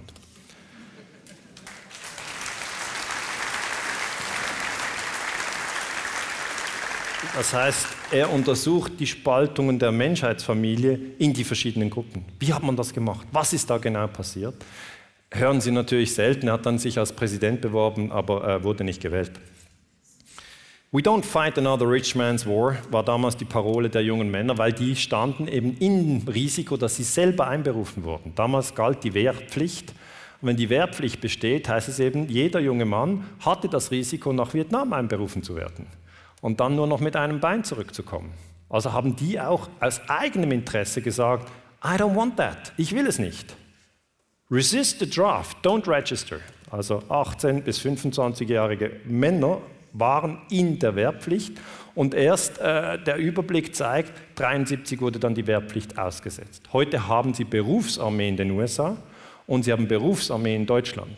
Und wenn sie Berufsarmeen haben, hier eben grau eingezeichnet, keine Wehrpflicht, und gleichzeitig die Medien so manipulieren, dass keine Kriegsbilder mehr reinkommen, dann haben sie einen Zustand, wo eigentlich die Bundeswehr ihren Job macht und die Leute sagen, ja, der ist ja selber schuld, der ist ja bei der Bundeswehr. Das ist wie wenn Sie bei der IKEA unterzeichnen, müssen Sie sich nicht wundern, wenn Sie dann bei der IKEA arbeiten.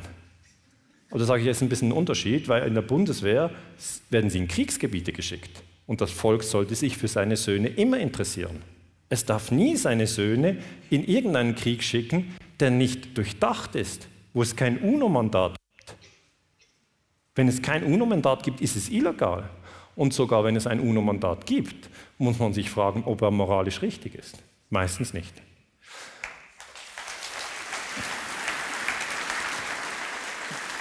Die roten Staaten übrigens haben die Wehrpflicht, also die Schweiz hat Wehrpflicht, ich war also auch im Militär in der Schweiz, aber ich kann Ihnen einfach sagen, in der Schweiz, das Militär, meine Güte, ähm, wir haben in erster Linie immer die Waffen geputzt. Ja? Also die Schweizer sind ja sehr ordentlich, ja? Haben immer alles schön archiviert. Ja, es war immer saubere Ordnung und dann alles geputzt, alles wieder in den Splint, dann irgendwie über einen Berg gerannt und dann geschossen. Aber es gab keine, es gab nie Feindkontakt, nie. Auch die Offiziere hatten ja nie Krieg gesehen oder irgendjemanden erschossen, sondern es war wirklich eine, eine Übung über ein Phänomen, von dem weder die Teilnehmenden der Übung etwas verstanden, noch die Ausbildenden. Und, und, das ist natürlich äh, eine abstrakte Situation, aber es bedeutet, dass wenn Sie die Wehrpflicht haben, dass das Volk viel zurückhaltender damit ist, ob man jetzt die Jungs ins Ausland schicken soll oder nicht. Also diese Karte über die Wehrpflicht habe ich übrigens der Wikipedia aus, rausgenommen. Da muss ich ein Wort dazu sagen für die jungen Menschen. Die Eltern wissen es vielleicht. Sie können schon Wikipedia nutzen, aber Sie müssen wissen, dass die Wikipedia nicht auf der Seite der Friedensbewegung ist. Sehr viele Menschen, die in der Friedensbewegung aktiv sind, werden in der Wikipedia diffamiert. Das kenne ich auch meinem eigenen äh, Erleben genügend gut. Und zudem werden die Ausbrüche der Kriege nicht genau dargelegt. Ja. Sie, Sie, haben also mit Wikipedia sicher gute Artikel, zum Beispiel zur Photosynthese oder wenn Sie wissen wollen, was ist die Hauptstadt von Frankreich. Aber, aber wenn es um Geostrategie geht, ja, dann wäre jetzt Wikipedia nicht die erste Adresse, wo Sie suchen sollen.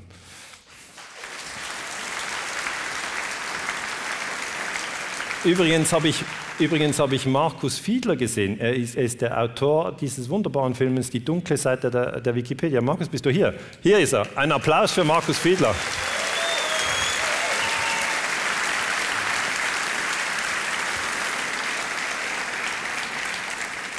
Auch in Berlin gab es Demonstrationen. 1968 hieß das damals Raus aus Vietnam.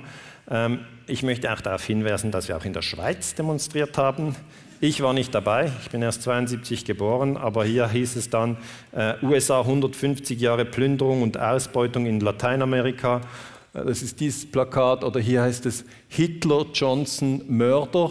Oder hier ist dann ein Bild von Che Guevara. Also man hat eigentlich diesen Anti-Imperialismus-Kampf äh, oder die Kritik am amerikanischen Imperialismus hat man mit den Daten zu Lateinamerika dann verbunden mit den Daten zu Südostasien. Und das waren wieder die Hippies und die haben sich also dagegen gewehrt, obwohl sie natürlich nie und nimmer einbezogen worden wären in diesen Krieg. Auch in Wien 68 Demonstration gegen den Krieg der USA in Vietnam ähm, und Ostermarsch für den Frieden und dann wiederum mit Bildern der Kriegsopfer. Ja, es war immer die Idee, dass man die Menschheitsfamilie sozusagen hier auch darstellt. Und Martin Luther King hat die Friedensbewegung in den USA angeführt, meiner Meinung nach. Es gab aber viele verschiedene Akteure. Aber was hier er sagt, ist eben so treffend. Hier seine Rede 67, ob wir es realisieren oder auch nicht. Unsere Teilnahme am Vietnamkrieg zeigt, dass wir zu wenig Sympathie für die Unterdrückten dieser Welt haben. Der Krieg offenbart unsere antikommunistische Paranoia und unser Unvermögen, die Angst und Not der Habenichtse zu fühlen. Der Krieg zeigt, dass wir uns an neokolonialen Abenteuern beteiligen. Diese Bomben in Vietnam explodieren bei uns zu Hause. Sie zerstören die Hoffnung und die Möglichkeit, ein ehrlicheres Amerika zu erschaffen. Das hat er immer sehr, sehr treffend erkannt. Er hat es auch offen gesagt.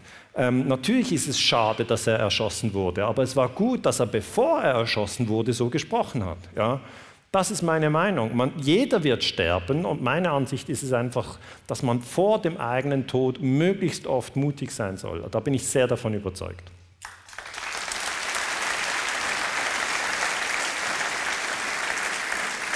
Kommen wir zum Punkt Nummer 10. Ich habe über die Friedensbewegung gesprochen, die sich gegen diesen Krieg gestellt hat. Sie haben die Friedensbewegung in Deutschland damals gehabt, Sie haben die Friedensbewegung in den USA selber, auch in der Schweiz, auch in Österreich und überhaupt in sehr vielen Ländern, Großbritannien auch. Warum haben sich die so stark auch gegen den Vietnamkrieg gestellt? Weil sie eben die Verbrechen gesehen haben, weil sie die Gewalt gesehen haben. Und zwei der wirklich schwierigen Themen, wenn man über Vietnam spricht, sind eben Napalm und Agent Orange. Ähm, wir haben in Vietnam heute noch unexplodiertes Kriegsmaterial. John Pilger, ein, ein, sehr guter Journalist, sagt, seit 1975 haben in Vietnam nicht explodierte Kampfmittel mehr als 40.000 Todesopfer gefordert, vor allem in Südvietnam, dem Land, das die Amerikaner zu retten vorgaben. Das lesen Sie in den meisten Zeitungen gar nicht, aber in Zeitungen wie zum Beispiel Rubicon, eine Internetpublikation, die ich, die ich sehr gut finde, kommen diese Zusammenhänge, da wird das dargestellt und dann werden Sie natürlich auch sehen, 40.000, das sind doch eigentlich viele. Warum sprechen wir nicht darüber? Ja? Das heißt, es sind immer wieder die Medien, die Ihnen die Toten interpretieren und sagen, die 3000 Toten in den USA am 11. September sind viel schlimmer als die 40.000 Tote, die in Vietnam an unexplodierten Kampfmitteln äh, sozusagen gestorben sind. Und dann werden wir wieder in neue Kriege gelenkt. Und das ist so nicht richtig, weil sowohl die 3000, die in den USA am 11. September gestorben sind, gehören zur Menschheitsfamilie. Ihr Leben muss geachtet werden. Das Leben ist heilig. Und auch die 40.000 Todesopfer, die eben äh, Vietnam auch nach Kriegsende zu beklagen hat, äh, gehören somit äh, zur Menschheitsfamilie. Das ist nicht richtig, dass man das einfach ignoriert. Während dem Krieg, der Krieg endete ja 1975, aber während dem Krieg haben die Amerikaner Napalm eingesetzt. Und Napalm ist eine Feuerwaffe. Das heißt, man hat die Menschen abgefackelt. Das ist einfach ein Zeichen von sehr, sehr hochgradiger Störung in der Menschheitsfamilie. Ja, dass man das tut. Fragen Sie, was machen wir denn miteinander? Ja, wir fackeln uns ab, zum Beispiel. Warum tun wir denn das?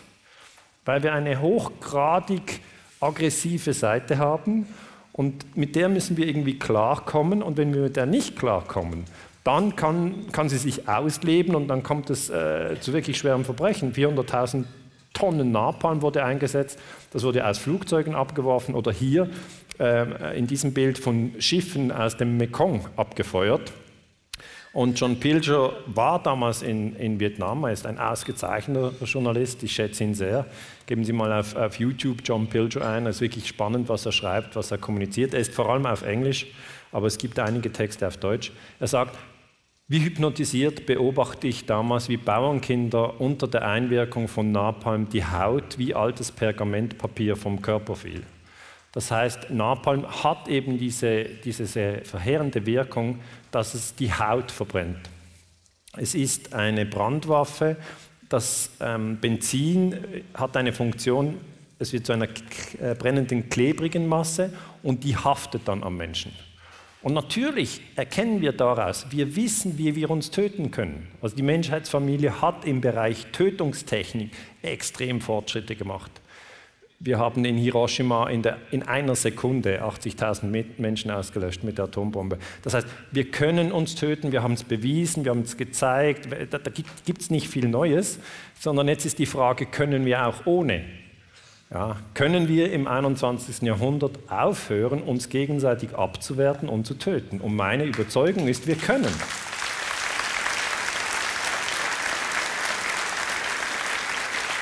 Also ich bin ein Menschenfreund und ich bin überzeugt, dass wir das können. Also immer die Frage, schaffen wir das? Ja, ich denke, wir können das tun. Wir müssen es aber wollen. Ja?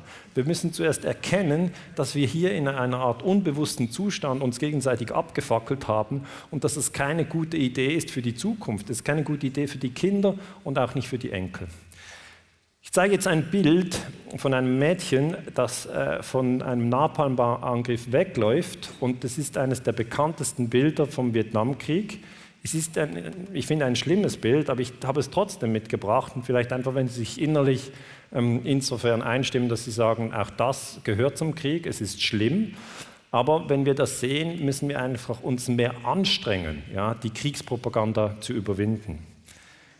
Dieses Bild wurde am 8. Juni 1972 aufgenommen. Äh, das äh, Mädchen heißt Kim Fu Pan. Ja? Und es ist das bekannteste Bild vom Vietnamkrieg. Sie hat den ganzen Rücken verbrannt, sie hat die Arme verbrannt von diesem Napalm. Ähm, und das sind Bilder, die Sie heute einfach überhaupt nicht mehr haben aus den Kriegsgebieten. Wir sind wie blind geworden zu dem, was im Irak passiert. Wir sind blind. Was, was in Syrien passiert, wir sind blind. Was in Afghanistan passiert, ist blind. Wir haben detaillierte Aufnahmen von der Champions League. Ja? Ob es Handspiel war, ob es Offside war, Videobeweise, alles. Ja? ja, da gibt man sich richtig Mühe, das ganz, ganz klar zu zeigen. Und wie gesagt, ich spreche nicht gegen Fußball, ich, ich schaue selber gerne Fußball, aber ich finde es dann immer verrückt, dass wir bei einigen Dingen so genau sind, die eigentlich triviale Unterhaltung sind, und bei anderen, wo es um Leben und Tod geht, sind wir völlig blind. Und da finde ich den Vietnamkrieg eben ein spannendes Beispiel, weil man hier noch genau gesehen hat, was Krieg eigentlich bedeutet. Diese Frau ist natürlich jetzt kein Mädchen mehr, sondern sie ist ähm, eine, eine erwachsene Frau, Kim Puk, und sie engagiert sich ehrenamtlich als UNESCO-Botschafterin und kümmert sich um Kinder in Kriegsgebieten. Sie hat natürlich immer noch ihre, ihre Verbrennungen. Hier zeigt sie ihren Arm 2012 während einem Gottesdienst in den USA. Hier geht es darum, dass auch die Menschen in den USA verstehen, was das bedeutet Napalm. Und es bleibt für den Menschen eine abstrakte Sache, bis er sich konkret damit auseinandersetzt und sagt, ja, unglaublich, was haben wir da getan? Und wenn natürlich das visuell klar wird, ist fast jeder Mensch berührt und traurig und sagt, das ist nicht der richtige Umgang innerhalb der Menschheitsfamilie. Die Amerikaner haben über Vietnam auch Agent Orange abgeworfen. Das ist ein Entlaubungsmittel und das hat bei den Vietnamesen zu schweren, schweren Missbildungen geführt. Also die Frauen haben dann Kinder geboren mit nur einem Auge oder, oder mit starken Verkrüppelungen etc. Und das ist so ein trauriges Kapitel, dass ich kein Bild zeige von einem Kind, das Agent Orange geschädigt ist. Ich zeige das nicht. Sondern ich zeige jetzt ein Bild von zwei Müttern mit gesunden Kindern. Einfach um zu erklären, dass diese Frauen natürlich keine Möglichkeit hatten zu verstehen, was passiert. Sie haben nur verstanden, sie sind im Krieg. Sie haben verstanden, dass da Flugzeuge rumfliegen, irgendwas versprühen, aber sie wussten nicht, ob sie äh, missgebildete Kinder gebären werden und wenn ja, warum. Das heißt, dieses, dieses Thema Vietnam geht schon sehr, sehr tief, weil es macht einem traurig. Es ist auch bei mir dann so, wenn ich zu lange an diesen Themen arbeite, dann muss ich dann auch wieder raus äh, in den Wald oder ich schwimme dann oder ich mache einfach etwas anderes. Ja? Das heißt, diese Art der Information aufzunehmen, ist für den Menschen anstrengend. Er kann danach aber lernen und verstehen, dass wir uns in der Menschheitsfamilie nicht töten sollen. Es ist einem völlig klar danach und ich habe dann versucht zu rekonstruieren, warum eben die Amerikaner diese Gräuel überhaupt durchführen konnten. Und man kann zeigen, es ist eindeutig durch die Abwertung der Vietnamesen. Also Westmoreland, ein führender General, hier an den Sternen sieht man immer, wie hoch die Funktion im Militär, also vier Sterne General, das sind eigentlich verantwortlich. Ja, die sind verantwortlich für die technische Umsetzung des Mordens. Ähm, er sagt, die Vietnamesen sind Termiten. Sie müssen verstehen, Westmoreland ist nicht ein Mensch, der keine Prinzipien hat. Keineswegs. Es ist, ich weiß nicht, wie seine Geschichte genau ist, aber ich kenne es von anderen Generälen. Es ist sehr gut möglich, dass er sich zu Hause aufregt, wenn seine Kinder ähm, sozusagen ähm, die Schuhe nicht abziehen, wenn sie im, im, im, Wohnzimmer rumrennen. Verstehen Sie das? Oder dass er nie und nimmer äh, möchte, dass man am Tisch flucht. Ja? Er hat seine Prinzipien die hält er ein, aber daneben hat er eine, eine Art Störung, wie ich es eben nennen würde, wo ein ganzes Volk aus der Menschheitsfamilie ausschließt, indem er sie Termiten nennt. Und schauen Sie sich Termiten an. Die wenigsten Menschen, vielleicht sehr aktive Tierliebhaber äh, ausgenommen, aber die wenigsten Menschen haben Sympathie mit Termiten. Und wenn Sie natürlich ein ganzes Volk als Termiten bezeichnen, ist das Auslöschen dieses Volkes möglich so wie man auch im Dritten Reich die Juden als Tiere bezeichnet hat. Und man muss es sagen, seit 9-11 werden die Muslime als Terroristen abgewertet. Kollektiv. Mehr als eine Milliarde Menschen Terroristen. Das hat mit den Fakten nichts zu tun, sondern das ist dieses alte und wenn ich da sagen darf, tragische Spiel des Abwertens und Tötens. Und das haben wir hier im Vietnamkrieg. Wir können es sehr, sehr genau beobachten. Wir können es belegen und wir können zeigen, dass es grässliche Folgen hat. Man sollte niemanden abwerten, sondern man sollte jeden Menschen so schätzen, ähm, wie er ist. Wir werden immer unterschiedlich sein. Immer. Also.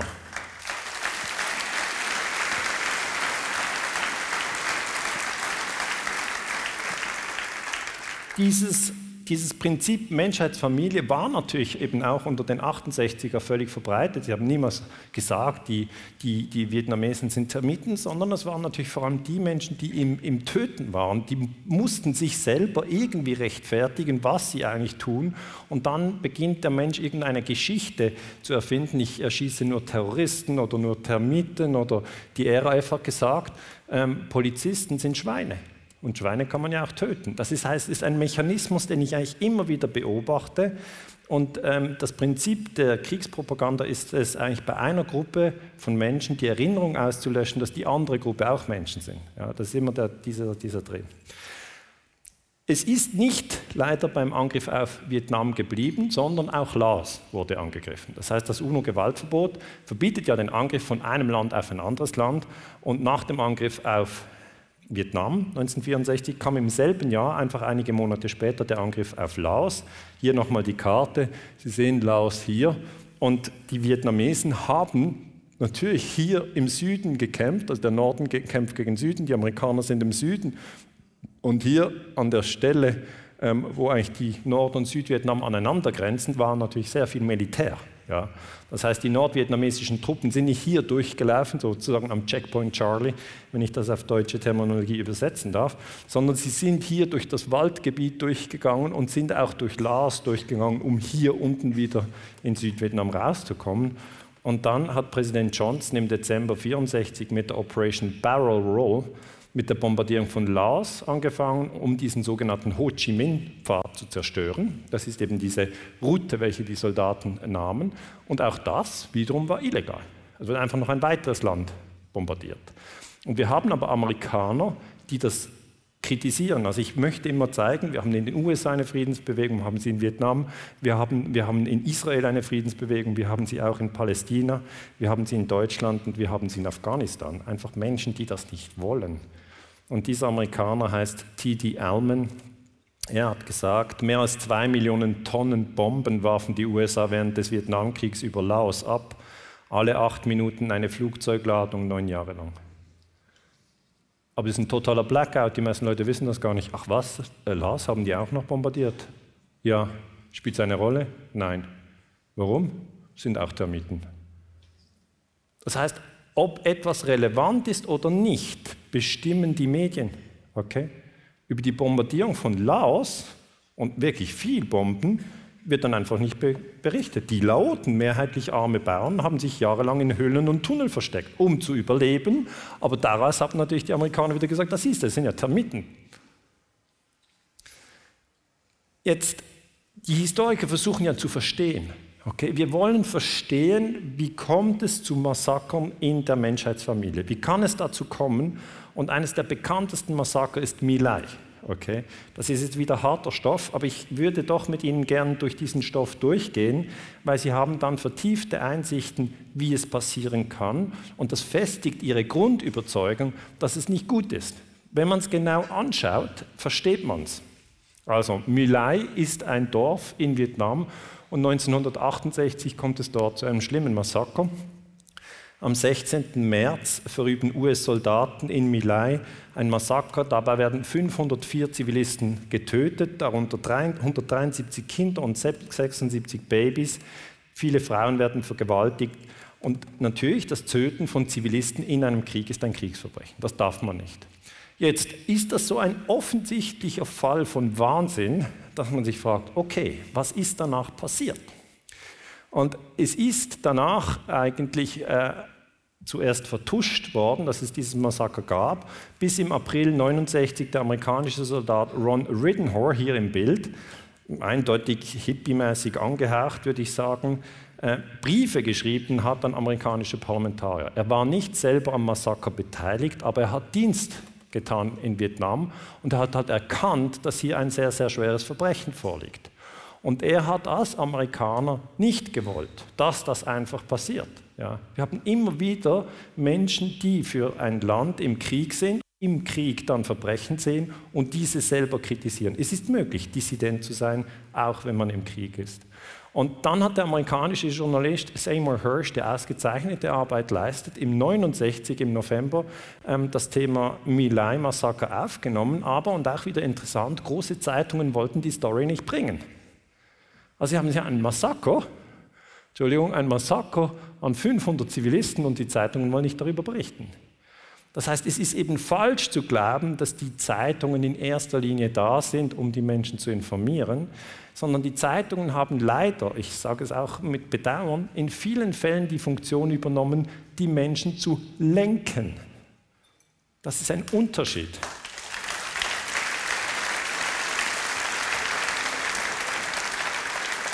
Also die Datenlage zu Vietnam zeigt klar, zuerst berichtet man in allen Zeitungen über den Zwischenfall im Golf von Tonkin, den es nicht gegeben hat. Und über das Milai-Massaker, das es gegeben hat, wird nicht berichtet. Da sage ich, dann ist Journalismus nicht die vierte Kraft im Staat, die die Exekutive überwacht, so wie es heute in den Schulbüchern steht, wenn Sie äh, Politologie an einer Universität äh, lernen. Ja. Wird es halt erklärt, die Regierung macht schon manchmal Fehler, aber dann decken das die Journalisten auf und dann wird es geklärt. In Ausnahmefällen stimmt das. Hier haben Sie einen Journalist, aber er muss in kleine Zeitungen ausweichen. Und heute, das möchte ich eigentlich als, als, als, als, ja, als gute Nachricht auch sagen, heute können wir über die digitale Revolution eigentlich sehr gut äh, sehr viele Leute erreichen. Also ich halte jetzt einen Vortrag, das Team von KenFM filmt den, wir haben 1000 Menschen im Raum, aber auf YouTube sind es schnell 10.000, 20.000, 40.000. In, im, Im Jahr 1969 war das nicht möglich, war einfach nicht möglich. Sie brauchten eine Zeitung, um das Volk zu erreichen. Dann hat man herausgefunden, dass Calais, William Calais, der befehlshabende Offizier in Milai ist, ist jetzt kein General, sondern ist in der Hierarchie beim Militär weiter unten, ist nicht Soldat, sondern ist Offizier. Und er wurde dann zu lebenslanger Haft verurteilt, aber nach drei Jahren entlassen. Ja, weil auch der amerikanische Präsident Nixon interveniert hat und eben darauf gedrängt hat, dass man hier ähm, die Offiziere sozusagen ähm, nicht zu hart bestraft.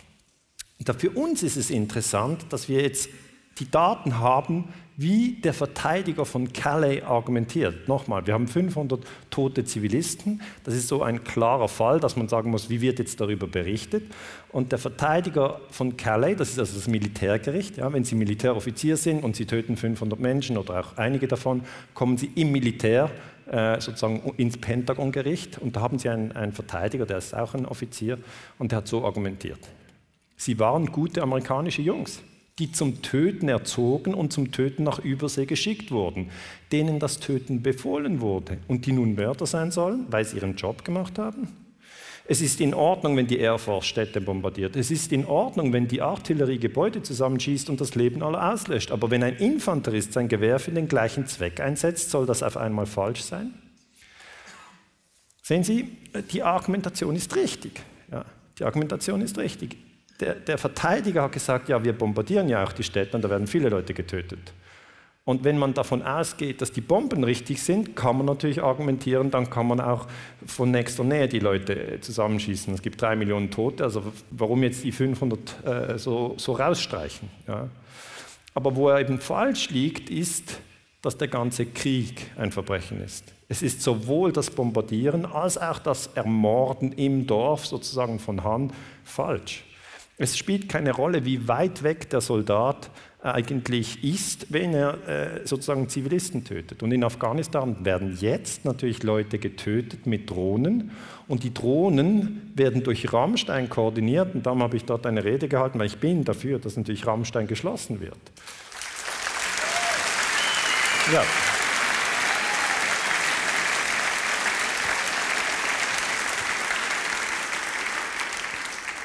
Telford Taylor, der amerikanische ähm, Chefankläger bei den Nürnberg-Prozessen, also am, am, Ende des Zweiten Weltkrieges gab es ja äh, diese Prozesse, wo dann die deutschen äh, ähm, Politiker und, und, Militärs verurteilt wurden, und zwar zu Recht verurteilt, hat diesen Fall vom Vietnamkrieg beobachtet und hat gesehen, dass natürlich jetzt die Verteidigung argumentiert, dass der, ähm, dass der Offizier Calais nur den Befehlen folgt, die von oben kommen. Und sie waren gute amerikanische Jungs.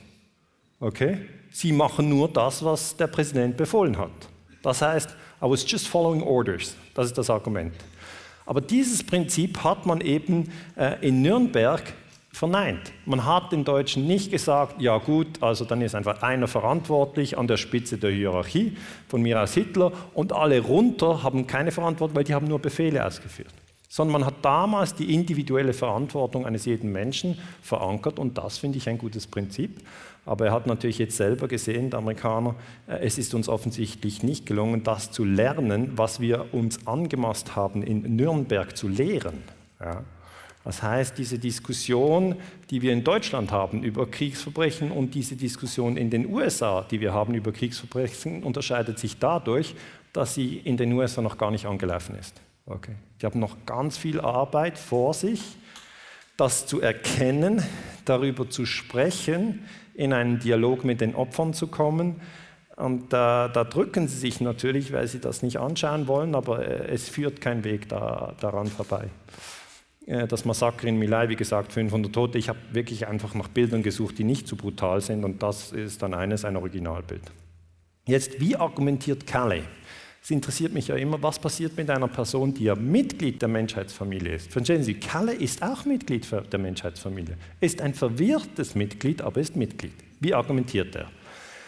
Bei einer Umfrage äußerte sich, ähm, dass es viele amerikanische Soldaten haben gesagt, Massaker wie das in Milai waren keine Ausnahme, sondern die Regel. Okay? 500 Tote in Milai, aber drei Millionen tote Vietnamesen. Also Sie können sehen, solche Massaker gab es sehr viel, solche Massaker gab es auch im Zweiten Weltkrieg.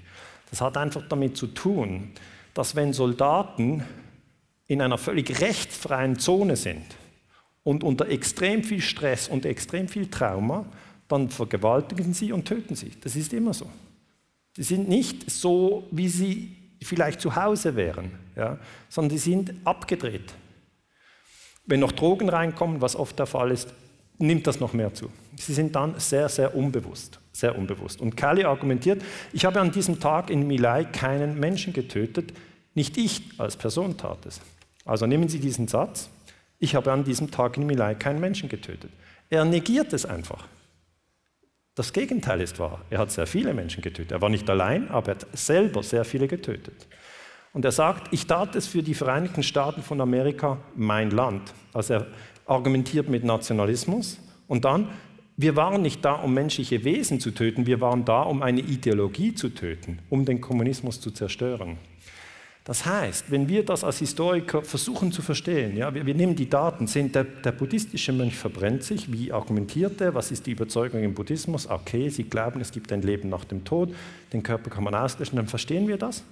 Und wenn ich sehe, ein amerikanischer Soldat sagt, ich habe einfach eine Ideologie bekämpft, ja, dann erkennen wir sofort, dass das sehr gefährlich ist. Immer wenn man sagt, wir bekämpfen eine Ideologie und die Menschen müssen wir halt töten, dann rechtfertigen sie innerhalb der Menschheitsfamilie, dass ein Teil der Menschheitsfamilie, nämlich diejenigen, die die falsche Ideologie haben, zum Abschluss freigegeben sind.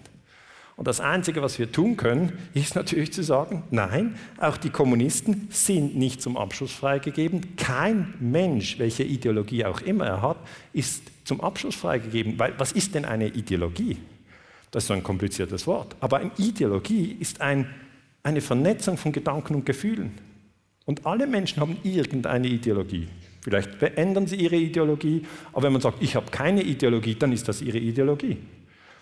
Das ist einfach die die Kombination von Gedanken, ähm, die sie in ihrem Kopf haben. Und äh, es wäre eben falsch, jemanden zu töten, nur weil er die falschen Gedanken hat. Ja.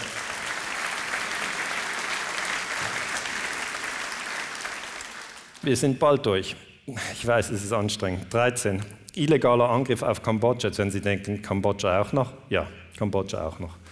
Das ist das Problem bei den Kriegen. Wenn Sie mal eine Wunde haben und sich die entzündet, dann kann sie wirklich den ganzen Körper in Mitleidenschaft äh, ziehen. Sie müssen schauen, dass sich das nicht ausbreitet, sondern Sie müssen für Heilung sorgen.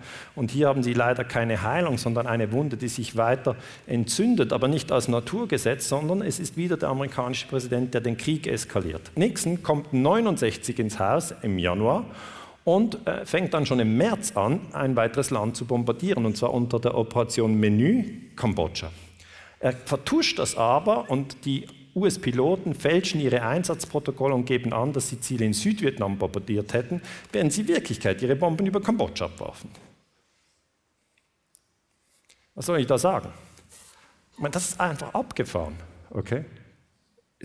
Nochmal, das UNO-Gewaltverbot wird nochmals gebrochen, aber dem Volk wird das nicht gesagt. Und man sagt, ja, wir bombardieren Südvietnam und die meisten Leute wissen, ja, was bombardiert ihr denn? Ich keine Ahnung mehr, was bombardiert wird. Oder? Also Nixon ist auch ein Kriegsverbrecher, weil er Kambodscha ohne UNO-Mandat bombardiert hat und sein eigenes Volk täuscht. Und das ist natürlich die Schwierigkeit für viele Menschen, dass wir erkennen müssen, dass in vielen Regierungen Kriegsverbrecher an der Spitze sind. Und das sich überhaupt einzugestehen, ist ein schwieriger Schritt. Und wenn wir Historiker rausgehen und sagen, das ist Kriegsverbrechen, dann werden wir sofort angegriffen. Ja? Ich kann das vielleicht so erklären. Ein Historiker im Mittelalter, der war ja abhängig von der Kunst des Königs. Und wenn er geschrieben hat, der König, der ist gemein. Ja?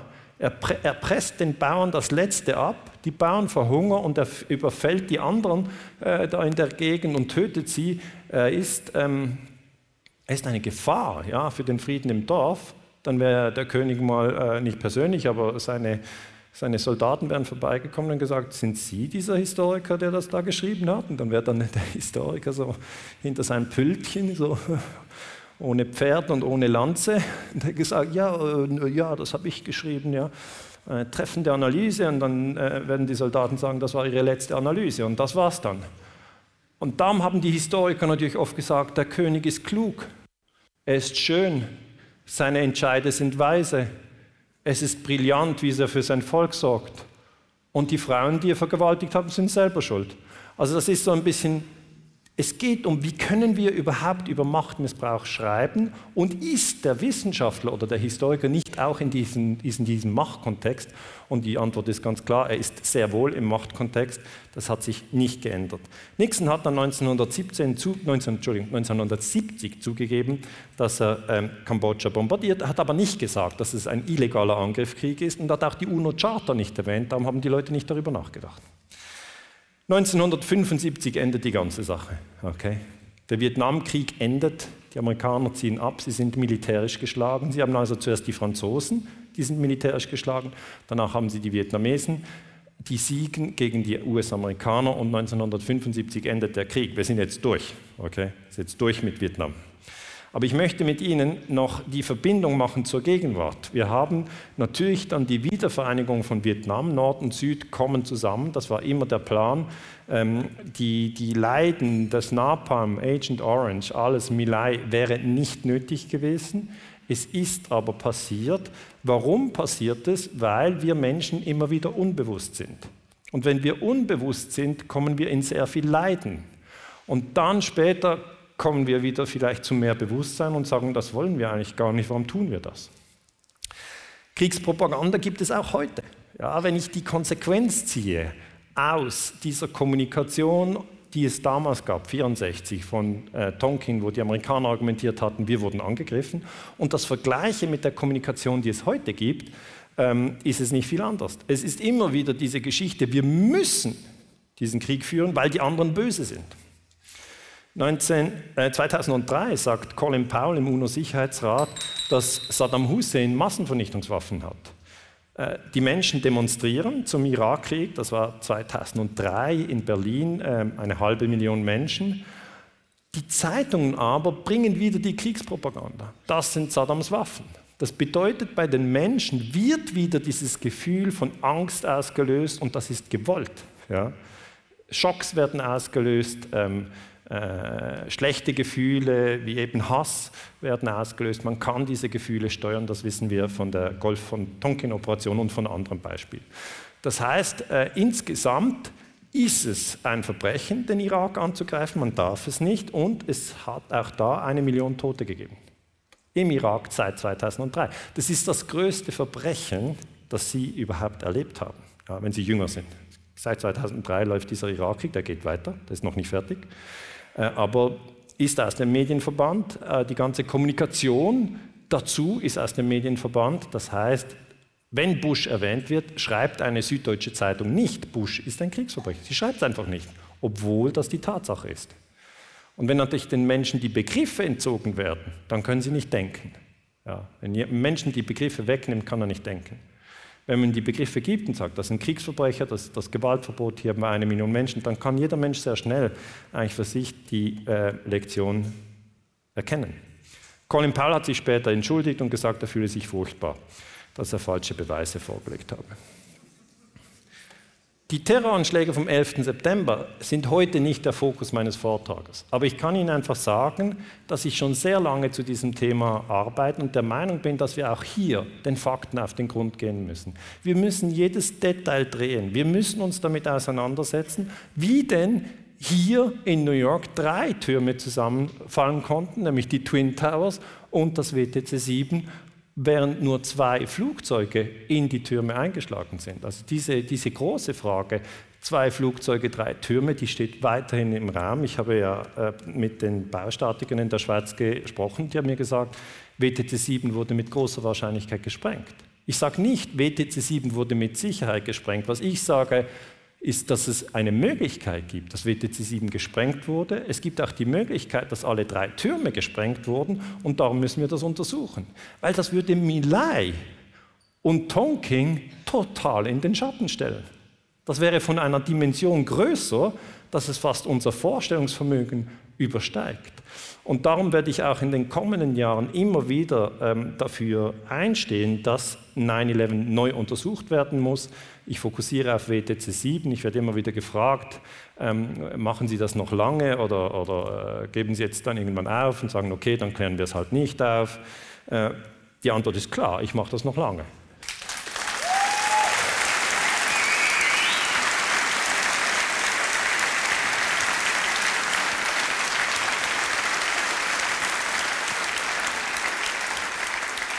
Warum, warum mache ich es noch lange? Weil die Afghanen wie die Vietnamesen zur Menschheitsfamilie gehören. Und weil die Afghanen natürlich nicht die Möglichkeit haben, an ein Institut für Baustatik in Zürich zu gehen und mit den führenden Baustatikern über den Einsturz von WTC 7, Säule 79 und Träger A 2001 zu reden. Okay? Es ist unsere Arbeit, wir sind eigentlich in einer privilegierten Position, weil a, werden wir nicht bombardiert, zwei, sind wir sehr gut ausgebildet, wir sind alle mit Internetanschluss äh, versetzt, das heißt, wir können die Dinge anschauen, während die Vietnamesen damals eigentlich wenig wussten und auch die Afghanen eigentlich nicht verstehen, warum sie seit 2001 bombardiert werden. natürlich, man sagt wegen 9-11, 220.000 Tote. 220.000 Tote, das sind mehrfache Mülais, mehrfache Mülais. Die Bundeswehr ist in Afghanistan seit Januar 2001, aber sie ist eben jetzt als Berufsarmee dort und darum gibt es keine Reflexion in der Bevölkerung. Das bedeutet aber nicht, dass es das ganze Land nicht betrifft, weil das sind die Söhne Deutschlands. Und es ist falsch, diese einfach irgendwo hinzuschicken und zu sagen, die Basis 9-11 konnten wir nicht prüfen, fahrt mal rauf, schaut mal, wie es läuft, vielleicht werden wir später noch untersuchen, ob die Basis richtig ist oder nicht. Äh, auf jeden Fall ähm, möchten wir nicht länger darüber sprechen, weil äh, es ist bald Anpfiff und möchte da nicht gestört werden, weil ich muss sehen, ob Offside ist beim Spiel Bayern gegen Frankfurt. Und das ist einfach, das ist, das ist von der Aufmerksamkeit nicht in Ordnung. Nicht in Ordnung. Die Friedensbewegung ist aktiv, also das ist eben eine, eine Demonstration, die es in Rammstein gegeben hat, wo ich auch gesprochen habe. Das heißt, Sie können sich sicher sein, dass viele Menschen das nicht wollen. Es sind Tausende, Zehntausende, Hunderttausende. Aber natürlich werden sie in den Medien immer wieder diffamiert als Idioten, Spinner, Verschwörungstheoretiker, was auch immer. Und da kann ich Ihnen den Rat geben, bleiben Sie gelassen. Bleiben Sie gelassen, ja. Es ist, es ist wichtig, mutig zu sein und es ist wichtig, einfach nochmal nachzufragen, ja, warum sind wir denn in Afghanistan? Ein aktuelles Beispiel, Trump, May und Macron haben am 14. April 2018 Syrien bombardiert, das ist also jetzt ein bisschen äh, mehr als ein Monat her, ohne UNO-Mandat. Das ist natürlich illegal. Ja, kann man sich fragen, ja, gab es Proteste? Ja, die gab es. Also wir sind nicht nur im Vietnamkrieg haben wir Proteste, sondern jetzt auch im Syrienkrieg. Die Menschen sagen, ja, wenn jetzt hier Atommächte aufeinander schießen, die Amerikaner sind eine Atommacht, die Russen sind eine Atommacht, dann ist das sehr gefährlich. No Nuclear War steht hier. Und natürlich ist es wieder ein Verstoß gegen das Völkerrecht. Es gab vom Bundestag eine Untersuchung. Äh, das wurde sogar in den Massenmedien produziert. Bundestagsgutachten verurteilt für Geltungsschlag, Verstoß gegen das Völkerrecht. Das freut mich, dass es auch in den Massenmedien langsam ankommt. Aber es ist ein so offensichtlicher Verstoß. Ja? Also das ist wie wenn ein Auto voll in eine Wand fährt und dann jemand sagt, wollen wir ein Gutachten einholen, ob das ein Unfall ist. Ich sage, es ist, es ist einfach wichtig, ja, hier sich am Völkerrecht zu orientieren. Frankreich, USA, Großbritannien haben nicht das Recht, Syrien zu bombardieren. Umgekehrt hat auch Syrien nicht das Recht, Frankreich zu bombardieren. Sehen Sie, das ist reziprok. Äh, Frage natürlich schon fast redundant, wurden die NATO-Staaten im Sicherheitsrat verurteilt? Natürlich nicht. Wurden nicht verurteilt. Warum nicht? Weil sie Vetomacht sind. Wie könnte man das abschaffen mit dem Veto im Sicherheitsrat? Man müsste durch den Sicherheitsrat gehen. Würden die ihr Veto vielleicht einlegen gegen so eine Reform? Vermutlich schon. Was sagt Merkel? Der Militäransatz war erforderlich und angemessen. Das stimmt überhaupt nicht. Er war weder erforderlich noch angemessen. Die richtige Analyse wäre, er war illegal und ein Verstoß gegen das Völkerrecht, darum muss die Bundeswehr aus Syrien abziehen.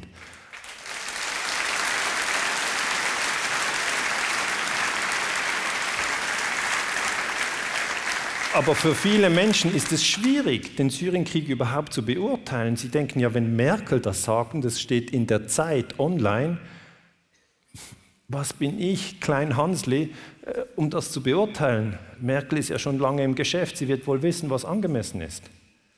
Aber Sie müssen überhaupt nicht lange im Geschäft sein oder sehr viel wissen, um ein schweres Verbrechen zu beurteilen. Wenn, jemand, wenn Sie sehen, jemand enthauptet jemand anderes, müssen Sie nicht sagen, Weiß ich jetzt auch nicht, vielleicht hatten die Streit. Also, Sie können dann sagen, das ist falsch. Es ist Mord. Oder Sie sehen eine Vergewaltigung. Ja? Sagen Sie, ja, will ich mich jetzt nicht einmischen? Ein Kollege hat gesagt, das ist passend. Hallo? Wie kann die Kanzlerin und die Leitmedien einen völkerrechtswidrigen Angriffskrieg gutheißen? Das ist ja eine, eine sehr große Verehrung. Das ist nicht eine, eine politische Abwägung, wo man sagen kann, ja gut, also könnte man ja auch so machen oder so sehen, sondern es ist grundsätzlich verboten, wenn ein Land ein anderes Land bombardiert. Die Bevölkerung wird durch das Thema Giftgas äh, gelenkt. Man sagt, man hat Syrien bombardiert und dann kommt diese Behauptung, weil Assad, der Präsident von Syrien, zuvor Giftgas eingesetzt hat. Wir bekommen diese Bilder. Das ist das moderne Tonkin. Wir sehen Kinder und Sauerstoffmasken. Von wem kommen die Bilder? Von White Helmets, von den Weißhelmen. Und dann Robert Fisk ging in das Spital äh, in Duma, wo diese Bilder gemacht wurden. Er sprach mit dem Leiter der Klinik, der heißt Dr. Rahaibani. Ich kenne jetzt Dr. Rahaibani nicht, aber ich weiß, dass Robert Fisk gute Arbeit macht. Und er sagt, Duma wurde bombardiert, Duma ist eine Stadt in Syrien, zudem gab es viel Wind, die Menschen in den Kellern hatten Atemnot, dann rief ein Weißheim plötzlich Giftgas.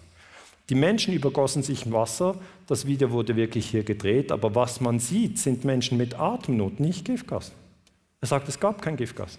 Es gab einfach keines. Es gab schon die Sauerstoffmasken, aber es war kein Giftgas. Dann denkt man, okay, was ist denn die Syrien? Ist die Bundeswehr überhaupt in Syrien? Ja, in Syrien und in Irak. Wird das dann geprüft, was jetzt da Giftgas und U-Nummer dann? Nein, wird nicht geprüft. Es wird einfach über das Völkerrecht hinweggegangen. Die Fakten werden nicht geprüft, sie kommen auch nicht auf den Tisch und das Ganze wird unter Terrorbekämpfung so pauschal verpackt, was äh, einfach keine saubere Arbeit ist. Und dann haben sie schon Medienberichte oder sie haben auch heute Fotos. Ja? Aber diese Fotos unterscheiden sich sehr vom Vietnamkrieg. Das sind abgestellte Fotos, wo man sagt, so darf man einen deutschen Soldaten zeigen. Hier Bundeswehrsoldat Kurdisch, mit kurdischen Peschmerga nahe Erbil, Irak. Der Leser erfährt, aha, wir sind im Irak. Irgendwie hilft man da. Ich, ich glaube, der zeigt denen den Weg. Ja, Foto Michael Kappler, DPA. Das ist alles, das ist so etwas von, von, von, von gescannt. Wenn Sie das mit den Bildern vom Vietnamkrieg anschauen und dann Bundestag berät Auslandseinsätze, Auslandseinsätze, es heißt gar nicht mehr Kriege, Einsatz. Und Einsatz ist ja gut. Wissen Sie, wenn Sie im Fußball keinen Einsatz geben, müssen Sie ausgewechselt werden. Das heißt, in den, in den Sprachen wird alles verdreht. Insgesamt sechs Auslandmissionen. Ausland, was ist eine Mission? Mission, das sind doch die Christen, die irgendwo hingehen, um dort zu helfen. Ja, Mission ist okay. Das heißt, es gibt, es gibt eine Verdrehung im Kopf. Ja? Auslandseinsätze der Bundeswehr, das ist jetzt August 17, ähm, ist nicht die neueste Daten, aber ist eben, man ist in Afghanistan, die Bundeswehr ist im Irak, die Bundeswehr ist in Syrien, die Bundeswehr äh, ist in Mali. Wird darüber gesprochen? Wenig. Wenig.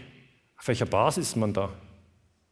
Was wäre, wenn die, Ma die, die Armee aus Mali wäre in Hannover, die Armee aus Afghanistan wäre in München, die Armee aus Irak wäre in Frankfurt und die Armee aus Syrien äh, wäre in Leipzig?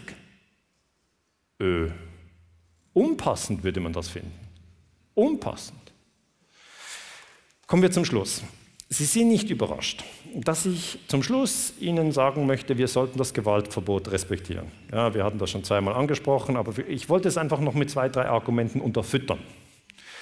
Zudem wollte ich Ihnen nochmals deutlich machen, dass dieses Prinzip der Menschheitsfamilie nicht eine Kleinigkeit ist, sondern ein Grundprinzip, um uns zu organisieren.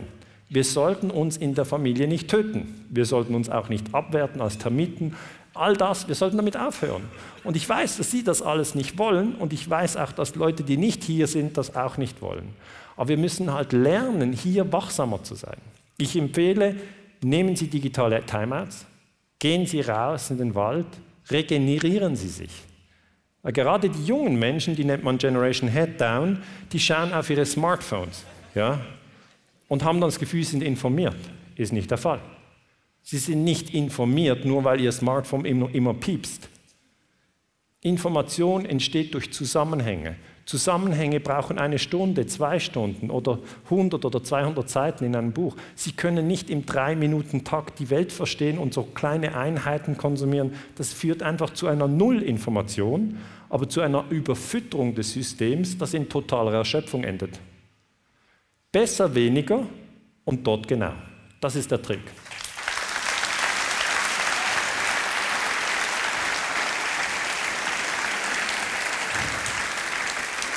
Ich, ich, muss Ihnen noch eine lustige Geschichte erzählen. Ich habe einen Freund, der ist Lehrer und der hat in der Schweiz mit den Jungen in die Berge. Ja, er hat eine Klasse, 15-Jährige. Dann gingen die in die Berge, Schweiz, und da hat es kein WLAN. Und was dann passiert, ist spannend. Die Jungen sagen dann, wo ist denn hier das WLAN? Und dann machen die Lehrer, das sind ja Pädagogen, machen so einen auf überrascht, ah, hat es hier nicht, wusste ich gar nicht. Und dann ist schon mal ein Teil der Kommunikation weg. Das Zweite, was passiert, ist, dass die jungen Menschen dann wissen wollen, wo ist denn hier der Strom? Und dann der Lehrer wieder, ah ja, nee, hier hat es keinen Strom. Habe ich das vergessen zu sagen? Und dann ist natürlich krass, oder? Dann geht der Akku runter und das ist schon fast ein Gefühl von, mein Leben geht runter. Und dann haben die noch Boosters, aber die sind irgendwann auch Ende. Und dann, zack, so nach drei Tagen haben sie das Problem geregelt. Alle haben ihre Smartphones im Sinn von schwarz irgendwo in einer Kiste. Und dann wechseln die wieder in analoge Kommunikation. Das heißt, sie schauen sich in die Augen. Das brauchen wir. Das ist wertvoll. Ja? Analoge Kommunikation. Mal wieder an den Himmel schauen. Ohne App. Wo ist der Himmel? Moment, da habe ich eine App. Das heißt, ja. Wir können wir können uns, wir können uns austarieren, wir können uns stärken, indem wir unsere Aufmerksamkeit lenken. Wir sollten zählen, wie viele Bildschirme wir haben. Fernseher, Laptop, Desktop, Tablets, all diese Bildschirme und dann sollten wir mal versuchen ohne die Bildschirme. Und das ist krass. Dann kommt sofort dieses Gefühl, Böhm, ist langweilig. Okay, was mache ich jetzt? Ja, Essig. Das ist auch keine gute Idee. Ich rufe einen an. Ah nein, ich wollte ja meinen Bildschirm nicht berühren. Hm. Dann fallen Sie in ein Loch. Aber das müssen mal rein. Erst dann passiert etwas. Indem Sie sich dauernd ablenken, kommen Sie nicht in eine gewisse Tiefe rein. Alleine durch den Wald zu laufen, einfach mal fünf, sechs Stunden laufen, im Wald übernachten. Hat es da Taliban? Ist das gefährlich? Nein.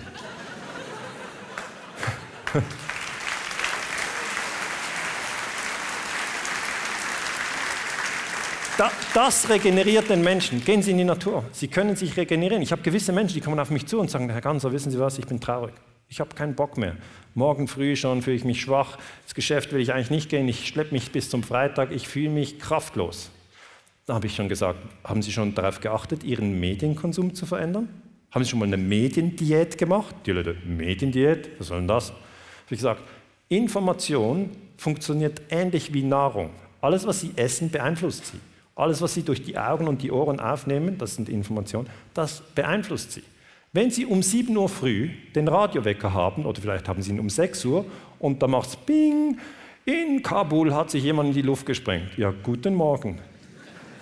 Tun Sie es nicht. Kein Radiowecker mit Nachrichten. Dann Mittagessen. Sie essen, sind alleine, die Bildzeitung. Okay, Giftgas in Syrien. Da sage ich, ja, das ist dann gut für die Verdauung, wenn Sie beim Essen über Giftgas lesen. Und abends, Sie sind völlig erschöpft, kommen Sie nach Hause noch kurz die Tagesschau. Die Russen sind böse. Hm. Und dann zur Entspannung Tatort mit einer Wasserleiche, 13 Jahre alt. Ja, nach einer gewissen Zeit haben Sie keinen Bock mehr aufs Leben. Sie haben keinen Bock mehr. Machen Sie mal das Gegenteil. Sie bauen Ihr System um und schauen, okay, was will ich eigentlich kommunizieren und was will ich aufnehmen? Und Sie werden sehen, das beeinflusst Ihr eigenes Gefühl über die anderen Menschen und über sich selber massiv. Das heißt, dieses Prinzip Achtsamkeit habe ich jetzt in fast allen Vorträgen drin. Ich sage immer, seid achtsam, was über Ihre Augen und Ihre Ohren reinkommt. Es ist völlig falsch zu sagen, ja, ich kann ja nichts dafür, weil ich schaue ja auf den Fernseher und dann kommt Zeugs und das will ich ja gar nicht. Dann sage ich immer, kennen Sie diesen roten Knopf? Ja. Nur Sie, nur Sie sind zuständig für das, was Ihre Augen sehen. Nur Sie sind zuständig für das, was Ihre Ohren hören. Jeder zu 100% verantwortlich. Sie bekommen die Medien, die Sie verdient haben. Und dann bekommen Sie einen Gefühlszustand, der dem entspricht. Und Sie haben, und das ist die gute Nachricht, die Möglichkeit, das völlig zu ändern. Wenn Sie mit einer Situation unzufrieden sind, lenken Sie Ihre Achtsamkeit. Und das hat jetzt nichts mit dem Vietnamkrieg zu tun, sondern das hat mit dem Leben insgesamt zu tun. Ich selber habe das bei mir beobachtet, weil ich ja so viel Kriegspropaganda untersucht habe, wäre die Chance groß, dass ich mit einer Volldepression im Bett ende. Ist aber nicht der Fall. Warum nicht? Ich nutze diesen Trick Achtsamkeit. Ich schwenke um. Ja, irgendwann sage ich, das reicht jetzt mit Napalm. Und dann suche ich Symmetrie in der Natur. Zack, das interessiert mich jetzt. Dann gehe ich in die Natur raus und ich suche Symmetrie. Im Winter finden Sie Schneeflocken. Perfekte Symmetrie. Wenn Sie das sehen, dann können Sie sich abends ins Bett legen und sagen, alles ist in Ordnung. Sie können sich einfach hinlegen und sagen, wie schön, alles ist perfekt. Diese Millionen von Schneeflocken haben wir nicht gemacht. Das ist eine Ordnung, die da ist, egal ob die NATO ein Land bombardiert oder nicht. Dann suche ich das in einer Blume und sehe, meine Güte, eine Riesensymmetrie. Die Blume, ich beobachte sie und denke, das ist doch schön. Und dann höre ich, hier wurde wieder ein Kind geboren. Es ist gesund zur Welt gekommen. Die Eltern freuen sich. Wie schön ist denn das? Und dann plötzlich merken sie, meine Güte, alles so schön. Gibt es mal wieder ein Massaker? Das heißt, der Kopf, ja, sucht dann wieder das Gegenteil. Und das selber zu beobachten bei sich, ja, was mit ihnen passiert, auf was sie die Aufmerksamkeit lenken und was dann passiert, ist so spannend, weil sie werden über kurz oder lang zur Einsicht gekommen, dass alles, was sie mit Achtsamkeit behandeln, sich verdoppelt und verdreifacht. Ich bin fast am Schluss, aber diese Geschichte möchte ich Ihnen neu erzählen. Als meine Frau schwanger war, war meine Achtsamkeit auf Schwangerschaft gerichtet. Bei mir wurde klar, ich werde bald Vater und von dem hatte ich keinen Plan. Also dachte ich, hm, was kommt jetzt? Und dann habe ich überall schwangere Frauen gesehen. Einfach überall. Und am Anfang, ich sage es wirklich, habe ich gedacht, die haben eine ähnliche Familienplanung. Ich habe gedacht, was für ein Zufall. Weil als ich 15 war, habe ich ja keine schwangeren Frauen gesehen. Warum sehe ich die jetzt überall? Und es war nur meine Achtsamkeit, die sich verändert hat. Weil nachdem die Kinder geboren waren, habe ich keine schwangeren Frauen mehr gesehen. Ist das nicht verblüffend? Das heißt, ihr System sieht das, was sie für interessant empfinden. Das ist die Schwingung. Wenn Sie eine, eine Stimmgabel haben und Sie schlagen die an und dann haben Sie eine Stimmgabel, die genau den gleichen Ton hat, dann schwingt die mit. Wenn das ein anderer Ton ist, schwingt die nicht mit. Sehr spannendes Experiment in der Akustik. Und so funktioniert der Geist.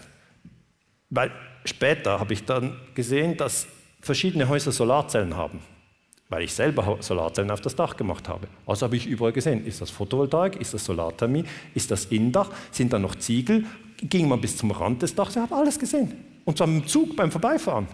Die Achtsamkeit war da.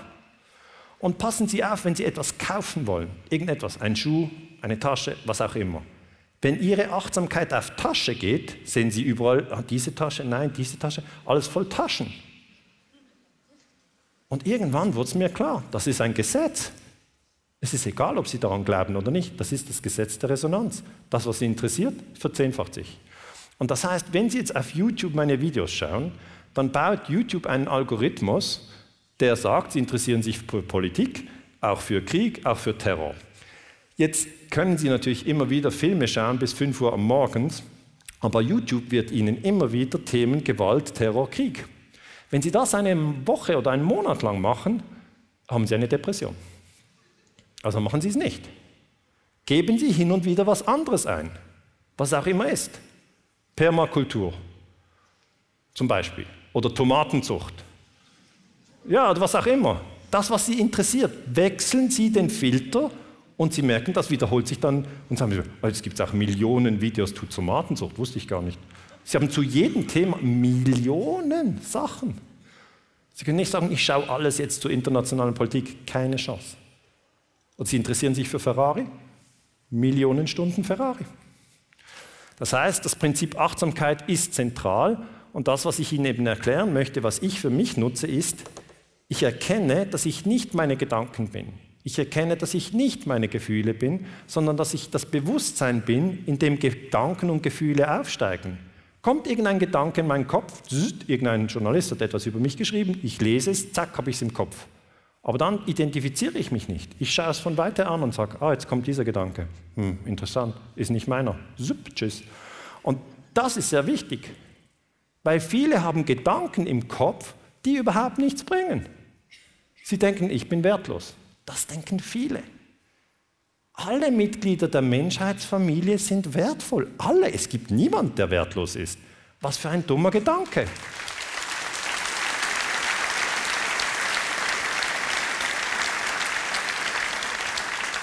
Und wenn wir immer wieder solche Gedanken haben, wie ich bin wertlos, dann ist das in, in etwa so logisch, wie wenn Sie ein Gewehr nehmen oder eine Pistole, sich in den Fuß schießen und dann sagen, oh, jetzt tut es weh beim Gehen.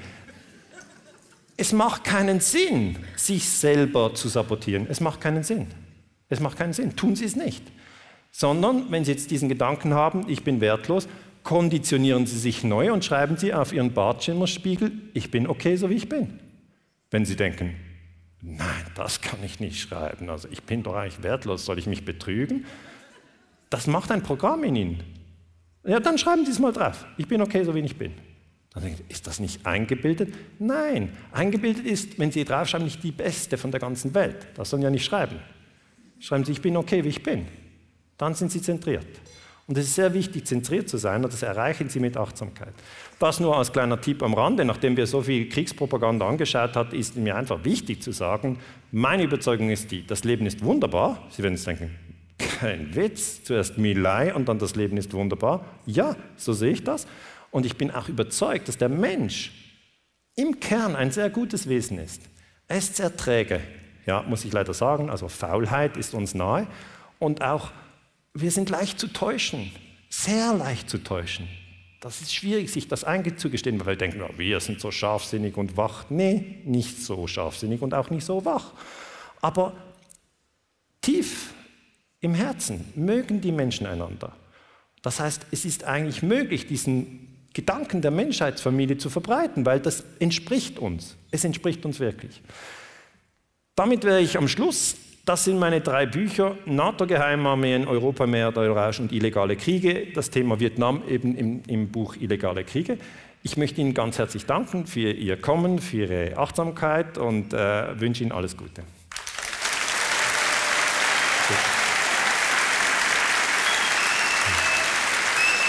Das, vielen Dank. Vielen Dank. Ja, danke.